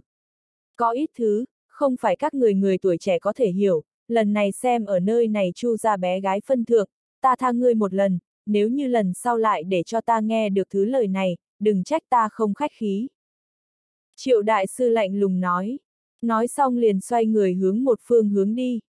Tâm huyết của hắn bị vũ nhục, có thể không tức giận. Liền ở đối phương còn đi chưa được mấy bước thời điểm, sau lưng một đạo thanh âm nhàn nhạt vang lên, đáng tiếc, ngày hôm nay đan không thành được. Triệu đại sư bước chân dừng lại, một cổ vô hình tức giận xông lên lên đỉnh đầu. Diệp thần sở dĩ nói như vậy, không phải là muốn nhắc nhở đối phương. Hắn tiếp tục nói, chắc hẳn người trước kia luyện chế thành công đều là ở bên trong phòng đi, lần này ở bên ngoài phòng, bị ảnh hưởng nhân tố quá nhiều, dĩ nhiên bản thân ngươi ảnh hưởng lớn hơn, ta có thể cảm giác được lòng ngươi nhảy rất nhanh, lòng bàn tay cũng là mồ hôi, nếu như không cách nào tâm tính, dù là có máy móc khống chế sức lửa, đan vậy không nhất định thành. Ta cho một mình ngươi nhắc nhở, nếu như đan dược luyện chế được vấn đề, thời gian đầu tiên rời đi, nếu không rất nguy hiểm. Máy móc mặc dù có thể tinh chuẩn, nhưng lại vô tình và lạnh như băng. Có thể vào lúc này nói những thứ này không tốt, nhưng là Diệp Thần có thể cảm giác đến thân thể đối phương không đúng, hơn nữa chán hiện lên một tia máu đỏ. Ngưng trọng máu đỏ. Đây là điển hình huyết quang tai ương. Hắn có thể làm chỉ có những thứ này, có nghe hay không liền là đối phương lựa chọn. Triệu đại sư vốn muốn cùng Diệp Thần lý luận mấy phần, nhưng là đâm đầu đi tới mấy vị người quen, hắn chỉ có thể hừ lạnh một tiếng, phất tay áo đi. Chu Nhã bất đắc dĩ nhìn một cái Diệp Thần, nói, Diệp tiên sinh, người mới vừa mới nói như vậy hơi quá đáng, triệu đại sư là hạng thừa đông bên người người tâm phúc, người như thế nói không thể nghi ngờ là đang đánh mặt hắn, nếu như chuyện này bị hạng thừa đông biết, hậu quả sẽ rất nghiêm trọng. Diệp thần con ngươi nhìn chằm chằm chính giữa quảng trường tòa kia cổ quái lò luyện đan, hai tay chắp sau lưng, nhàn nhạt nói ta là ở cứu hắn, có nghe hay không liền xem hắn lựa chọn. Chu Nhã ngẩn ra, tạm thời bây giờ không biết nên nói cái gì. Từ hoa hạ dược minh ra đời chỗ, đều là bọn họ cứu người khác. Bây giờ Diệp Thần ngược lại tốt, hắn lại có thể ngược lại phải cứu người hoa hạ dược minh. Hai người đang nghỉ ngơi khu ngồi đại khái nửa giờ, rất ít có người tới quấy rầy bọn họ. Loại việc này động, cơ hồ đều là tự thành vòng nhỏ. Vốn là lấy chu nhã xinh đẹp, tất nhiên sẽ có rất nhiều người tới chuyện trò. Nhưng là không biết là không phải bởi vì Diệp Thần, lần này cơ hồ không người tới quấy rầy. Ngược lại là có chừng 10 đạo bất thiện ánh mắt vẫn nhìn chằm chằm vào Diệp Thần bên này. Trong đó có mấy đạo chính là chính công tử cùng với cục võ đạo hoa hạ những cường giả kia. Diệp Thần mặc dù biết, cũng không dự định để ý tới. Hắn tới Dược Vương Cốc chỉ bất quá muốn gặp hạng thừa đông mà thôi, còn lại, cũng không trọng yếu. Ngay tại Diệp Thần nằm trên ghế salon phải ngủ thời điểm, một đạo sang sáng tiếng cười truyền tới. Thật nhiều mọi người tới Dược Vương Cốc cổ động, nếu như có cái gì chiêu đãi không chu toàn, xin tha thứ. Chu Nhã vội vàng đánh thức Diệp Thần, nhẹ giọng nói, Diệp tiên sinh, hạng thừa đông đi ra. Diệp Thần đứng dậy, nhìn lướt qua thanh âm ngọn nguồn, liền phát hiện một cái mặt chữ quốc người đàn ông xuất hiện ở trong tầm mắt. Người đàn ông tóc xám trắng, đại khái hơn 60 tuổi. Trên mình mang một tiêu uy nghiêm, mặc dù mặt đầy ánh đỏ, nhưng là cổ khí thế kia hay là để cho người kiêng kỵ mấy phần.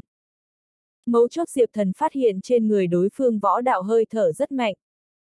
Ở y thuật và võ đạo mới có thể có như thành tựu này, cũng coi là dị bẩm thiên phú. Đám người tự động tách ra một con đường tới. Hạng thừa đông đi thẳng tới trên đài, nhìn lướt qua mọi người, cười nói, ta thành tựu hoa hạ dược minh người quản lý dài, một mực hy vọng là hoa hạ võ đạo giới làm những gì, nhưng là nhiều năm qua như vậy, trừ cứu những người này trở ra còn không có làm xảy ra cái gì đi đầu, ta mặc dù không có thể, nhưng là hoa hạ dược minh người lớp lớp xuất hiện. Lần này, ta muốn cho mọi người tiến cử một vị hoa hạ cao cấp luyện đan sư, Triệu Lâm Đào, Triệu Đại Sư. Người này gia nhập dược minh mấy chục năm, dùng khoa học kỹ thuật luyện đan để cho ta thật là xem thế là đủ rồi, dõi mắt hoa hạ, tuyệt đối là người khai thác. Hôm nay, nếu như đan dược cấp 3 luyện chế thành công, ta hoa hạ dược minh tất nhiên có thể thành là hoa hạ thế lực cao cấp một trong. Cái này tái nhập sử sách một ngày, ta hạng thừa đông cùng chư vị anh hùng hảo hán cùng chung làm chứng. Tiếng vỗ tay như sấm. Vô số đạo ánh mắt hướng đứng ở giữa quảng trường trước lò luyện đan triệu đại sư nhìn. Triệu đại sư vô cùng hưởng thụ, thậm chí ánh mắt hướng Diệp Thần phương hướng nhìn lướt qua. khinh thường và lãnh ý vô cùng là rõ ràng. Trên đài hạng thừa đông tiếp tục nói, ta người này không thích nói nhảm, huống chi luyện đan chú trọng giờ, nói cũng không muốn nói nhiều, tiếp theo liền giao cho triệu đại sư đi. Triệu đại sư gật đầu một cái, ánh mắt rơi vào lò luyện đan tiếng, một cổ đại sư phong độ tự khởi. Chỉ một ngón này khởi thế, đám người khen ngợi vạn phần. Đại sư chính là đại sư, cái này cả người tản ra khí thế liền không bình thường.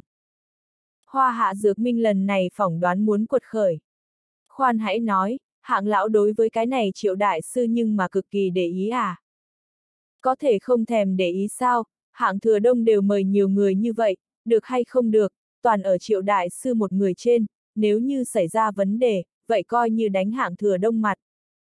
Đám người bàn luận sôi nổi. Ngay tại lúc này, có người đứng dậy, mở miệng nói, hạng lý sự trưởng, tại trước luyện đan, ta có một lời không biết có nên hay không nói. Đứng ra chính là cục võ đạo hoa hạ một vị ông già. Hạng thừa đông cao mày, lúc này bị phá xấu xa, để cho hắn có chút không vui, hắn nhìn một cái người nọ, lạnh lùng nói, có lời liền nói, đừng quấy rầy triệu đại sư luyện đan. Ông già vội vàng nói, hạng lý sự trưởng không biết, chuyện này liền cùng triệu đại sư có liên quan. Ừ. Hạng thừa đông mặt đầy nghi ngờ, hỏi, rốt cuộc chuyện gì? Cục võ đạo hoa hạ ông cụ kia ánh mắt nhìn về phía diệp thần phương hướng, lạnh lùng nói, mới vừa rồi ta nghe được có cái tiểu tử chỉ trích triệu đại sư tâm huyết, lại là đem nói không đáng giá một đồng, thậm chí còn nói hoa hạ dược minh luyện đan thành tựu chỉ bất quá học ra lông mà thôi. Lời này vừa nói ra, không chỉ hạng thừa đông biến sắc. Tất cả mọi người tại chỗ cũng nổi giận. Nếu như hoa hạ dược minh luyện đan đều là da lông, toàn bộ hoa hạ có ai tư cách luyện đan? Đây không phải là tới gây chuyện mà. Chu Nhã nghe được câu này, sắc mặt ảm đạm đến trình độ cao nhất. Nàng căn bản không nghĩ tới Diệp Thần những lời này lại bị những cái kia người cục võ đạo hoa hạ nghe được. Mấu chốt đối phương lại là cầm cái này tới luận văn chương. Hiển nhiên là muốn mượn này để cho Diệp Thần chọc nhiều người giận à. Nhiều người như vậy tức giận, đủ để cho Diệp Thần thân bại danh liệt. Cái này cũng có phần quá hèn hạ đi. Nàng nhìn một cái cục võ đạo hoa hạ phương hướng, tức giận ngực nàng không ngừng phập phồng. Sau đó nhìn về phía Diệp Thần, nhưng phát hiện đối phương hoàn toàn giống như là một cái không có chuyện gì người vậy. Diệp tiên sinh, chuyện này. Diệp thần cười nhạt một tiếng, không có sao. Hạng thừa đông nghe được người kia nói, sắc mặt lại là chuyển là xanh mét, mắng, rốt cuộc là ai dám làm nhục triệu đại sư, lại là liền hoa hạ dược minh cũng không buông tha. Vậy cục võ đạo hoa hạ ông già đưa tay ra, chỉ Diệp thần nói, hạng lý sự trưởng, chính là cái đó ăn mặc đồ dạo phố tiểu tử, ta ngày hôm nay đứng ra, hoàn toàn là không ưa đối phương loại này được là, ta hy vọng, nếu như triệu đại sư lần này luyện đan thành công, người này có thể cho triệu đại sư quỳ xuống bồi tội. Hoa hạ dược minh không thể làm nhục. Đối phương nói cực kỳ có tiêu chuẩn, vừa mặt ngoài cục võ đạo hoa hạ thái độ, lại thành công đem tức giận của mọi người tập trung vào diệp thần trên mình. Chiều này mượn đao giết người, có thể nói hoàn mỹ. Trịnh công tử nhìn đã băng bó tay, trong mắt lóe lên từng đạo hàn quang. Làm cho lòng người sợ hãi. Hắn muốn Diệp Thần chết không có chỗ chôn. Hạng thừa đông tràn đầy lửa giận ánh mắt bắn về phía Diệp Thần, chất vấn, những lời này là ngươi nói. Hắn tự nhiên không biết nghe một nhà nói như vậy, nếu như Diệp Thần phản bác, hắn cũng biết nghiêm túc nghe một chút đối phương giải thích rõ. Chu Nhã kéo kéo Diệp Thần tay, nói, Diệp tiên sinh, ngươi chỉ cần đánh chết không thừa nhận là được. Diệp thần ánh mắt bắn thẳng đến hạng thừa đông, không sợ hãi chút nào, gật đầu một cái, triệu đại sư phương pháp luyện chế quả thật tồn tại vấn đề, từ ta trước mắt quan sát tới xem, hoa hạ dược minh có thể nói chỉ nắm giữ một tia luyện đan ra lông mà thôi. Hơn nữa lần này luyện đan, thật ra thì cũng không phải là thiên địa nhân hòa thế, ta đề nghị chế nữa 3 tiếng luyện đan, như vậy đan thành xác suất sẽ lớn một chút, nếu không triệu đại sư luyện đan sau thứ 48 giây, sẽ xuất hiện nổ lò thế. Lời này vừa nói ra, đám người một mảnh xôn xao.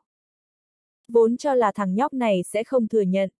Lại không nghĩ rằng, đối phương không chỉ thừa nhận, còn mẹ hắn nói rõ ràng mạch lạc. Không nể mặt như vậy tồn tại, bọn họ vẫn là lần đầu tiên thấy được. Nơi này chính là dược vương cốc à, hoa hạ dược minh đất. Luyện đan xác thực sẽ xuất hiện nổ lò tình huống. Thậm chí có thể nói rất thường gặp. Nhưng là từ xưa đến nay, không có người có thể như vậy chính xác dự đoán ra nổ lò thời gian. Người mẹ hắn coi như sẽ tiên tri biết trước, cũng không khả năng chính xác như vậy xác thực à. Hạng thừa đông trong mắt cơ hồ bắn tán loạn ra tia lửa, nói, được. Rất tốt, nếu như triệu đại sư luyện chế thành công, người cho ta quỳ xuống dược vương cốc ba ngày ba đêm. Triệu đại sư, luyện đan. Tiếng chuông vang lên. Luyện đan, bắt đầu. Triệu đại sư nhìn một cái diệp thần phương hướng, hư lạnh một tiếng, ngay tức thì điều chỉnh đến lòng như mặt nước phẳng lặng thế. Tay phải vỗ lò luyện đan một cái, nắp bỗng nhiên vén lên. Đan nước trực tiếp gia nhập trong đó. Đồng thời, tay hắn chỉ nhanh chóng làm việc, trực tiếp chạy bên cạnh vậy chiếc dụng cụ tinh vi. Ngọn lửa phun trào, nhiệt độ bỗng nhiên tăng lên. Một màn này nước chảy mây trôi, đám người một mảnh khen ngợi. Đồng thời còn có mấy đạo ánh mắt khinh thường vào tới. Diệp thần bên người còn đứng một vị người đẹp tóc vàng, vậy người đẹp tóc vàng nhìn lướt qua Diệp thần, hừ lạnh nói, kỹ không bằng người còn nói xấu đối phó người khác, người loại người này nhất định chính là hoa hạ võ đạo giới thứ bại hoại, còn nói gì nổ lò, người hiểu luyện đan sao, nếu như triệu đại sư xảy ra vấn đề gì, người phụ trách nổi. Tiểu nhân hèn hạ vô sỉ. Diệp thần không để ý đến. Mặc dù không người tin tưởng Diệp thần, nhưng là rất nhiều người yên lặng dùng điện thoại di động nhấn đồng hồ. Hắn ngược lại là phải xem xem sau cùng kết quả đánh như thế nào Diệp thần mặt. Chu Nhã ở bên cạnh gấp xoay quanh. Nàng cũng biết Diệp thần sẽ gây chuyện, nhưng là căn bản không nghĩ tới đối phương như thế có thể chọc à. Mấu chốt cái này Diệp thần từ đầu tới cuối không phản ứng gì à. Chu Nhã không biết, hết thảy các thứ này, hoàn toàn là Diệp thần cố ý, hắn vốn là không muốn nhúng tay hoa hạ dược minh luyện đan. Nhưng là cục võ đạo hoa hạ nếu vạch rõ, vậy hắn liền vui vẻ tiếp nhận. Lại là ước gì đem sự việc làm lớn chuyện, chỉ có như vậy hạng thừa đông mới có thể coi trọng hắn. Hắn mới có thể từ đối phương trong miệng khiêu ra u hồn ngục giam bí mật. Chính giữa quảng trường trong lò luyện đan, triệu đại sư đem nhiệt độ bả khống đến mức tận cùng. Toàn bộ lò luyện đan đều biến thành đỏ bừng. 10 mét bên trong, nhiệt độ cực kỳ cao. Triệu đại sư khóe miệng phát họa một đạo nụ cười, nhìn một chút thời gian, đã 20 giây trôi qua. Không do dự nữa, đem những cái kia đan dược cấp 3 dược liệu toàn bộ ném vào. Lò luyện đan phun trào, một cổ cực mạnh hơi thở lan ra. Lần này hắn muốn luyện chế huyền hoàng đan. Thuộc về trí liệt đan dược, một khi luyện chế thành công, ăn vào viên thuốc này, có thể để cho tu vi tiến thêm một phần. Dĩ nhiên, bởi vì trong dược liệu có huyền hoàng thạch gia nhập, trong lò luyện đan dược liệu sẽ phản ứng cuồng bạo mấy phần, nổ lò xác suất vậy so vậy đan dược cao hơn.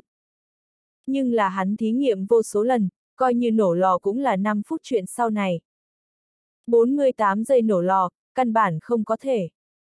Triệu đại sư một cái tay không ngừng điều khiển, lò luyện đan phản ứng càng ngày càng kịch liệt. Mấy giây sau đó, toàn bộ lò luyện đan cũng lóe lên một mảnh ánh đỏ, mùi thuốc nồng nặc xuyên thấu toàn bộ quảng trường.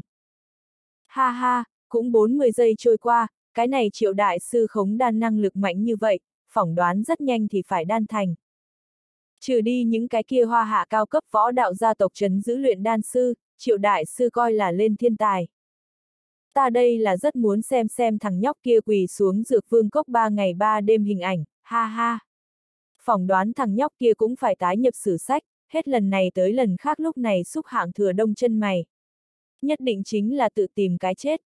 Đây đối với Dược Minh mà nói vậy là chuyện tốt, thằng nhóc kia ta nghe nói là tỉnh chiết giang người thứ nhất, võ đạo thực lực rất mạnh, nếu như người này quỳ xuống Dược Vương Cốc ba ngày ba đêm, chí ít tất cả tỉnh chiết giang cường giả cũng sẽ biết hoa hạ Dược Minh đáng sợ. Hạng thừa đông đứng ở trên đài, nhìn triệu đại sư khí thế phun trào, hài lòng đến trình độ cao nhất. Có lẽ bởi vì thằng nhóc kia khích lệ, triệu đại sư trạng thái cực tốt. Một lần liền đan thành, đặc biệt có thể. Hắn trong lòng mơ hồ có chút mong đợi. Sau đó, hạng thừa đông ánh mắt lại rơi vào diệp thần trên mình, hắn hử lạnh một tiếng, rất là coi thường. Đối với hắn mà nói, diệp thần cái loại đó không biết đúng mực tiểu bối chính là một chuyện tiếu lâm. Những năm này, hoa hạ dược minh quá khiêm tốn, khiêm tốn đến tất cả mọi người đều quên hắn hạng thừa đông tồn tại. Chuyện hôm nay, cũng nên để cho hoa hạ võ đạo giới nhìn một chút. Đột nhiên, giữa quảng trường truyền đến một đạo tiếng vang lanh lãnh. Thanh âm này rất nhẹ, nhưng là ở yên lặng quảng trường mà nói nhưng vô cùng rõ ràng. Vô số đạo ánh mắt hướng lò luyện đan nhìn lại. Có chút người lanh mắt lại phát hiện lò luyện đan trạng thái có chút không đúng. Lò luyện đan nắp không ngừng phun trào, thậm chí tùy thời muốn lật mở. Không chỉ như vậy, nguyên bản mùi thuốc nồng nặc vậy biến thành một cổ mùi khét.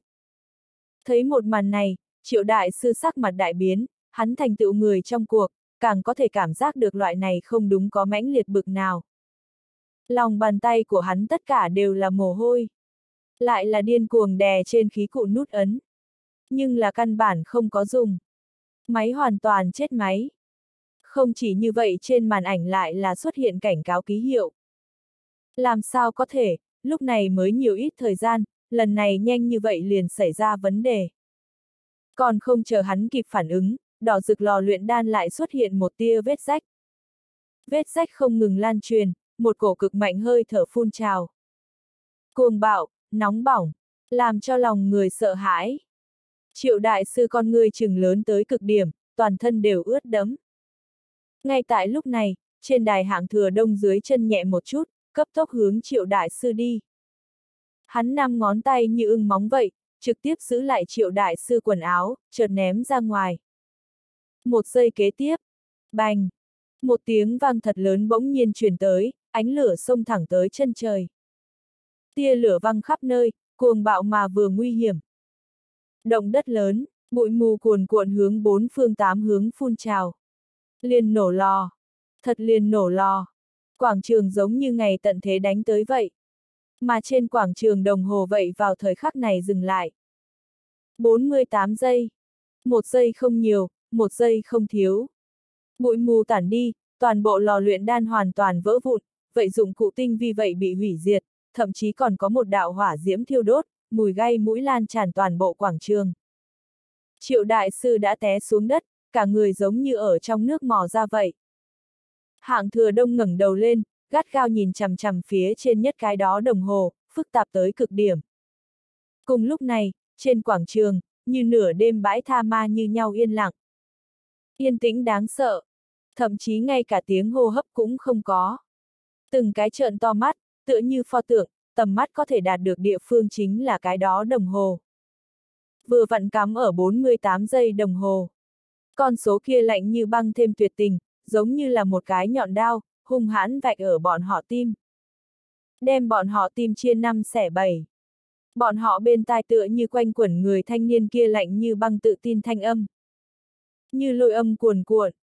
Chói tai thêm nhọn à. Ta đề nghị chế nữa ba tiếng luyện đan, như vậy đan thành xác suất sẽ lớn một chút, nếu không triệu đại sư bắt đầu luyện đan sau thứ 48 giây, sẽ xuất hiện nổ lò thế. Mỗi một chữ đều giống như là phản âm. Không cho phép nghi ngờ. Nhất là con số kia quỷ dị đến mức tận cùng. Một giây kế tiếp, tất cả mọi người con ngươi nhìn về phía cách đó không xa cái đó xuất khẩu cuồng ngôn lãnh ngạo chàng trai.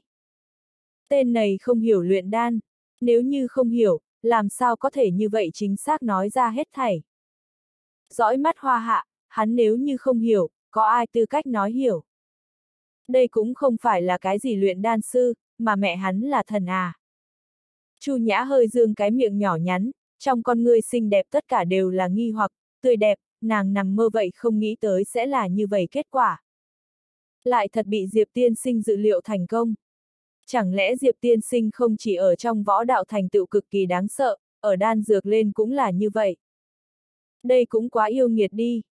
Diệp thần bên người vị kia lại nhảy không ngừng người đẹp tóc vàng gương mặt nóng bỏng đến mức tận cùng, giống như bị người hung hãn sáng một bạt tai.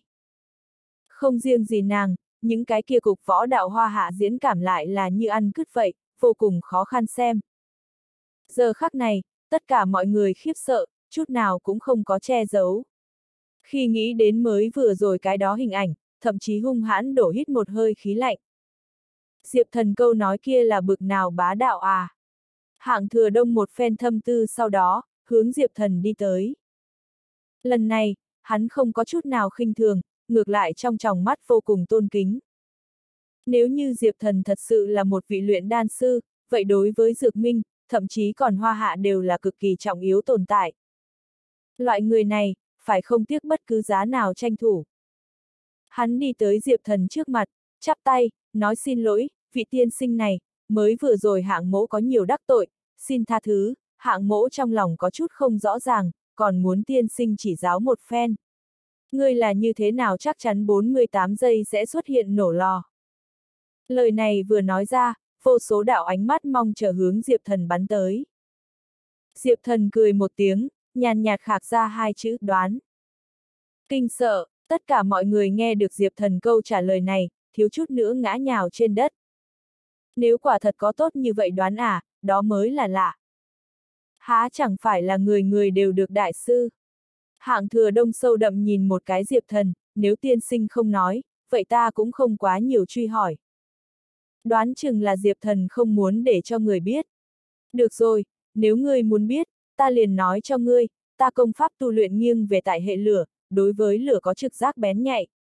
Lò luyện đan cũng là như vậy, còn như con số tại sao như vậy tinh chuẩn, chắc có một tia vận khí ở bên trong. Diệp thần suy nghĩ một chút, vẫn là bổ sung nói. Hắn không ngu ngốc, tự nhiên sẽ không nói gì nhiều.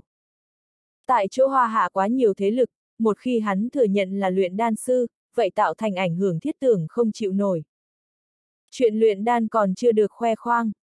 Hắn trong xương vẫn là muốn khiêm tốn một chút, về phần tại sao một mực chuyện cùng mong muốn, hoàn toàn là bởi vì người khác không cho phép. Mặc dù đây cũng là một loại giải thích, nhưng là chỉ có một bộ phận người bừng tỉnh, còn dư lại một nhóm người, như cũ hoài nghi. Hạng thừa đông gật đầu một cái, miễn cưỡng tiếp nhận, lại nói, thì ra là như vậy, thụ giáo. Đúng rồi, tiên sinh, hạng mỗ tu luyện công pháp cũng cùng tiên sinh tương tự, chờ một hồi có thể hay không và tiên sinh cùng nhau nghiên cứu mấy phần. Hạng thừa đông phát ra mời. Diệp thần chờ chính là lời này, hắn chế trụ nội tâm khiếp sợ, mở miệng nói, ta đối với hạng lão vậy rất là bội phục, vô cùng vinh hạnh. Được, đúng rồi, còn không biết tiên sinh xưng hô như thế nào. Diệp thần. Diệp tiên sinh, chờ một hồi hạng mỗ sẽ cho người mời Diệp tiên sinh. Hai người đối thoại lúc này kết thúc. Dẫu sao nhiều người tai mắt lẫn lộn, không nói được quá nhiều. Sau đó hạng thừa đông liền trở lại trên đài, khách sáo tính nói mấy câu, liền để cho tất cả mọi người đi nghỉ trước. Chờ đợi triệu đại sư lần thứ hai luyện chế.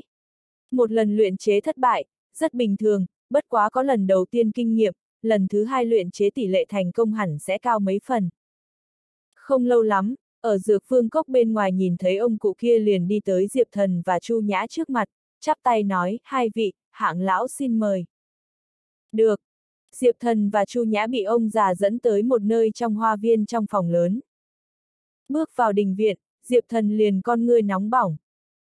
Đầy sân đều là dược liệu hy hữu.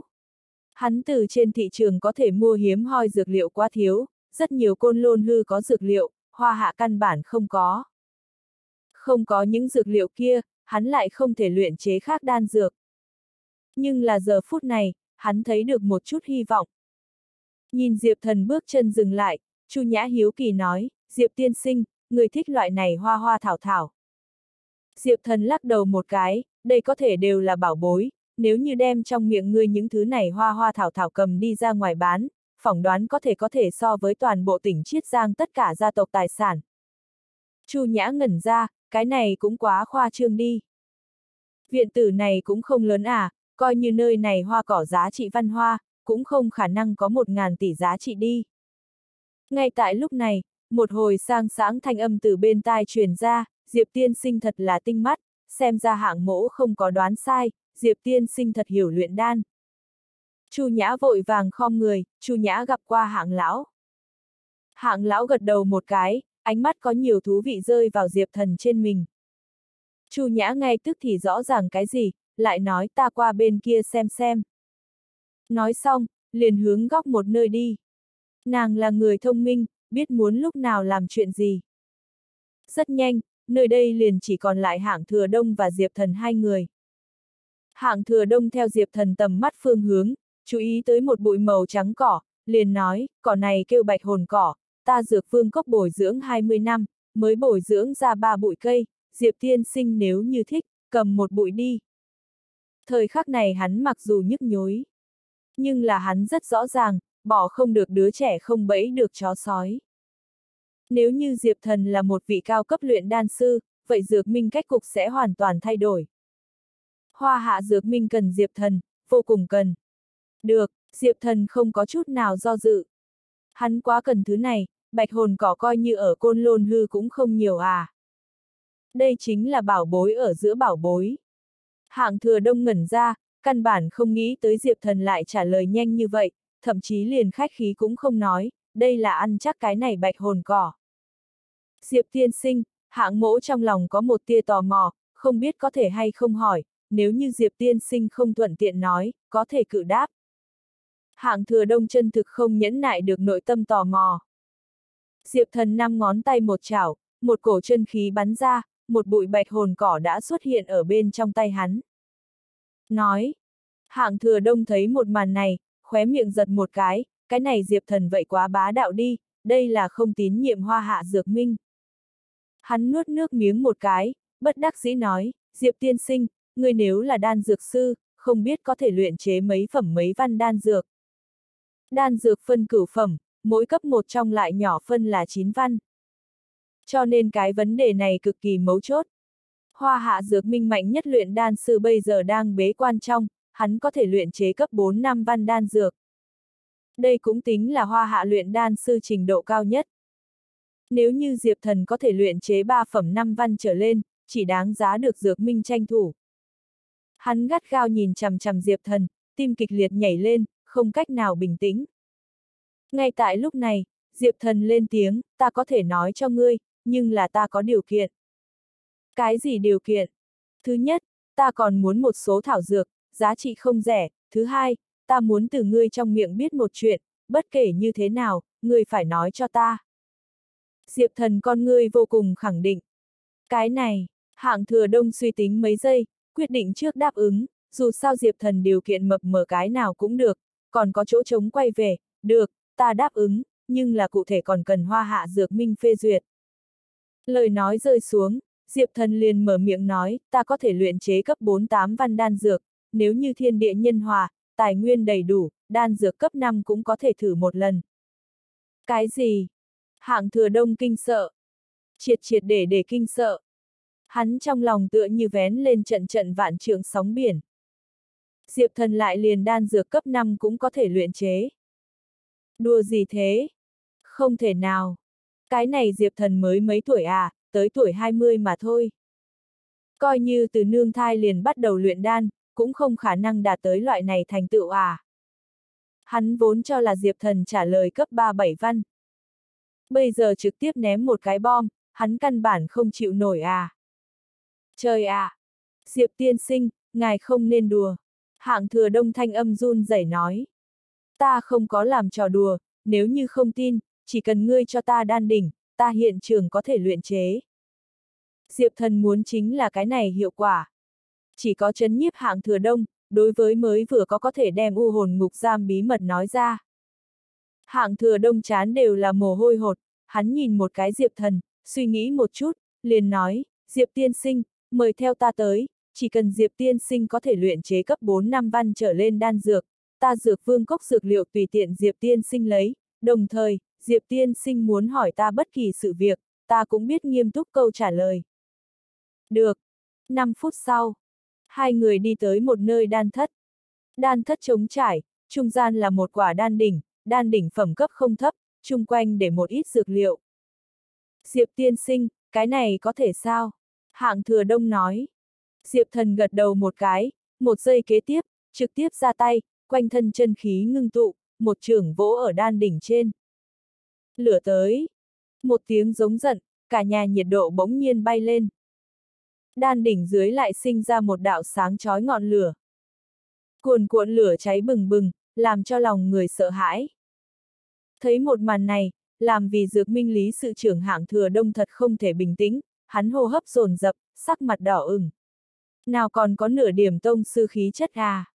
Hắn thân thể càng phát ra run rẩy, kích động đến trình độ cao nhất. Khí ngưng đan lửa, ta lại có thể lại một lần nữa gặp được khí ngưng đan lửa. Đây chính là thượng cổ thuật luyện đan à. Cái này Diệp tiên sinh vậy mà sẽ thượng cổ thuật luyện đan. Hạng thừa đông kinh hô thanh âm lại có chút nhọn, cực kỳ thất thố. Im miệng. Diệp thần quát lên. Hạng thừa đông nghe được câu này, sắc mặt tái nhợt, vội vàng ngậm miệng lại. Giống như một cái phạm sai lầm đứa nhỏ vậy. Nếu như bị người khác thấy một màn này, tuyệt đối kinh điệu cầm. Hạng thừa đông là ai? Hoa hạ dược minh thực quyền người, mặc dù hoa hạ dược minh và cục võ đạo hoa hạ địa vị không thể so. Nhưng là lạc đà gầy lớn so với ngựa. Bàn về vị trí, hắn và hoa hạ võ đạo tổng cục trịnh nhân quyết như nhau. Như thế đối với năm, ai dám để cho hạng thừa đông im miệng. Chỉ có Diệp Thần. Ngọn lửa phun trào, đan đỉnh đỏ bừng, Diệp Thần lại là một trưởng vỗ ở đan đỉnh trên. Đan đỉnh mở ra, Diệp Thần năm ngón tay một chảo, tựa như trong tay có một đạo lực lượng, trực tiếp đem những cái kia trên bàn dược liệu toàn bộ tràn vào đan đỉnh trong. Diệp Thần ngưng tụ chân khí, bao quanh toàn bộ đan đỉnh. Ước chừng 5 phút, một cổ mùi thuốc nồng nặc tấn công tới. Đinh! Một tiếng thanh thúy tiếng, đan thành. Tốt lắm, chính ngươi đi xem. Diệp thần thanh âm nhàn nhạt rơi xuống. Ưng ực.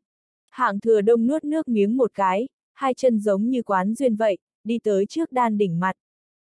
Sau đó, bên trong đan dược xuất hiện ở lòng bàn tay của hắn. Mười viên đan dược nguyên vẹn, không có một quả bỏ đan. Chỉ một ngón này, hoa hạ liền không người có thể so sánh. Sau đó, hạng thừa đông lại lấy ra trong đó một viên, nhưng thấy đan dược phía trên đường vân, hắn trợn to hai mắt, giống như pho tượng, ngây ngốc lăng tại chỗ. Cấp 48 văn, lại là cấp 48 văn. So hoa hạ dược minh vị kia còn còn đáng sợ hơn. Mấu chốt hết thảy các thứ này, đều là hắn mắt gặp là thật à. Nếu như hoa hạ dược minh có người này, tất nhiên thành là hoa hạ võ đạo giới đệ nhất thế lực à. Còn cần ta chứng minh sao? Diệp thần hai tay chắp sau lưng, một cổ hơi thở lan ra. Cho dù hạng thừa đông thực lực so hắn mạnh, nhưng là ở hoa hạ dược minh, nhìn không phải võ đạo thực lực, mà là y thuật và thuật luyện đan. Mà Diệp thần ở phương diện này đã nghiền ép. Không có cần hay không, Diệp tiên sinh, là tiểu hạng có mắt không tròng. Bất chi bất giác, hạng thừa đông liền gọi mình lời nói đều thay đổi. Đây chính là cái gọi là thực lực vi tôn. Dù là đây là thế kỷ 21, vậy không có thay đổi. Diệp thần không muốn nói nhảm nữa cái gì, nói thẳng, ta đến tìm ngươi, chỉ có một mục đích, ta muốn biết u hồn giam ngục ở đâu. Đây đối với ta rất trọng yếu. Nghe được u hồn giam ngục, hạng thừa đông diễn cảm vô cùng cổ quái. Bởi vì đây là hoa hạ kiêng kỵ. Hắn mặc dù đi qua rất nhiều lần, nhưng là hắn nếu như để lộ ra tới, hậu quả cực kỳ nghiêm trọng. Diệp tiên sinh, chữ u hồn giam ngục, chuyện khác ta đều có thể và ngươi nói. Hạng thừa đông làm khó. Bành! Diệp thần hừ lạnh một tiếng, một trường vỗ ở sau lưng đan đỉnh trên, một cổ cực mạnh chấn động tấn công tới. Đan đỉnh trực tiếp nứt ra. Hạng thừa đông, đây là người đáp ứng ta, ta ghét người nói mà không làm. Diệp thần tức giận nói. Hạng thừa đông nhìn một cái cả người sát khí bức người Diệp thần, giải thích Diệp tiên sinh có chỗ không biết, u hồn giam ngục sau lưng người điều khiển, xa không phải chúng ta có thể chống cự, ta khi tiến vào u hồn giam ngục thời điểm, trên mình bị thi xuống một đạo pháp quyết, một khi ta tiết lộ vậy u hồn giam ngục địa chỉ, hẳn phải chết không thể nghi ngờ. Diệp thần con người có giúp một cái, chỉ điểm một chút ở hạng thừa đông trên cánh tay. Chân khí phun trào, làm vận chuyển tới ấn đường lúc đó, một cổ vô cùng lực lượng mạnh đem hắn cắn trả đi ra. Quả nhiên, hạng thừa đông trong cơ thể lại có một đạo thuật pháp. Hơn nữa cái này thuật pháp không phải hoa hạ, nó đến từ côn lôn hư.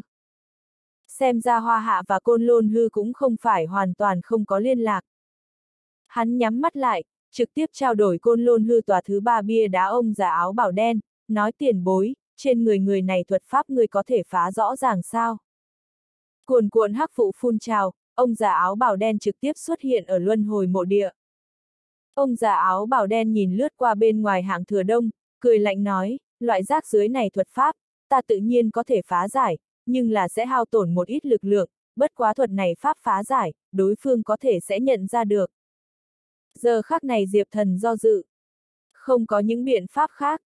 Đương nhiên là có, ta có thể từ tên kia trên mình thuật pháp suy diễn ngoài ngàn dặm, phá giải hết vậy thi triển thuật pháp người bổn mạng pháp quyết. Đến lúc đó, trên người mọi người thuật pháp đều biến mất, vậy thi triển thuật pháp người coi như muốn tra, cũng không có chỗ tra được. Diệp thần vui mừng, vội vàng nói, xin tiền bối ra tay. Ông già áo bảo đen con người lóe lên một tia nghiêm túc, thi triển một lần, ta sẽ trả ra một số giá phải trả, thậm chí nhanh hơn biến mất. Ta chỉ có một yêu cầu, ta giúp ngươi lần này, ngươi cũng phải giúp ta một chuyện. Cái gì? Diệp thần còn chưa nói hết, một cổ lực lượng liền rơi vào hắn trên mình. Liền làm ngươi đáp ứng. Sau này ta sẽ gặp nói cho ngươi, bây giờ, mượn thân thể ngươi dùng một chút. Thanh âm nhàn nhạt ở Diệp Thần bên tai rơi xuống. Diệp Thần trong mắt hoàn toàn thay đổi, tựa như đến từ mãi mãi tinh thần. Trên người khí thế lại là bỗng nhiên phát ra. Hạng thừa đông tự nhiên cảm giác được chung quanh khí thế biến hóa, hắn vừa định và Diệp Thần nói chuyện, khi thấy đối phương trong mắt, hắn hai chân lại đang run rẩy. Loại cảm giác này vô cùng khó chịu. Giống như, hắn đối mặt không phải Diệp Thần, mà là một vị tuyệt thế cường giả. Nhắm mắt lại, thu liễm hơi thở, dồn khí đan điền. Diệp Thần thanh âm đạm mạc rơi xuống. Hạng thừa đông bản muốn phản kháng, nhưng là nhưng phát hiện hắn không có tư cách phản kháng. Tim hắn tựa như đều phải vỡ vụn. Loại cảm giác này tựa như đưa thân vào cửu u địa ngục vậy. Diệp thần ngón tay bóp quyết, một đạo kim sắc phù văn đột nhiên từ lòng bàn tay tràn ra. Ở hạng thừa đông kinh hãi và ánh mắt nghi hoặc trong, bình tĩnh khạc ra hai chữ. Sấm tới, xuyên vạn vật. Lời nói rơi xuống, dược phương cốc bầu trời mây đen từng cơn. Che khuất bầu trời, tựa như ngày tận thế. Đồng thời trong mây đen cuồng bạo sấm sét rồi rào. Tựa như dị tưởng. Ung ung. Vạn tiếng sấm trực tiếp rơi xuống. Xuyên thấu đan phòng. Sấm sét nổ tung, cả sảnh đường ban ngày. Mà giờ khắc này Diệp thần tay cầm sấm sét, tựa như lôi đạo chân quân. Chấp trường thiên hạ. Audio điện tử võ tấn bền. Hết tập 15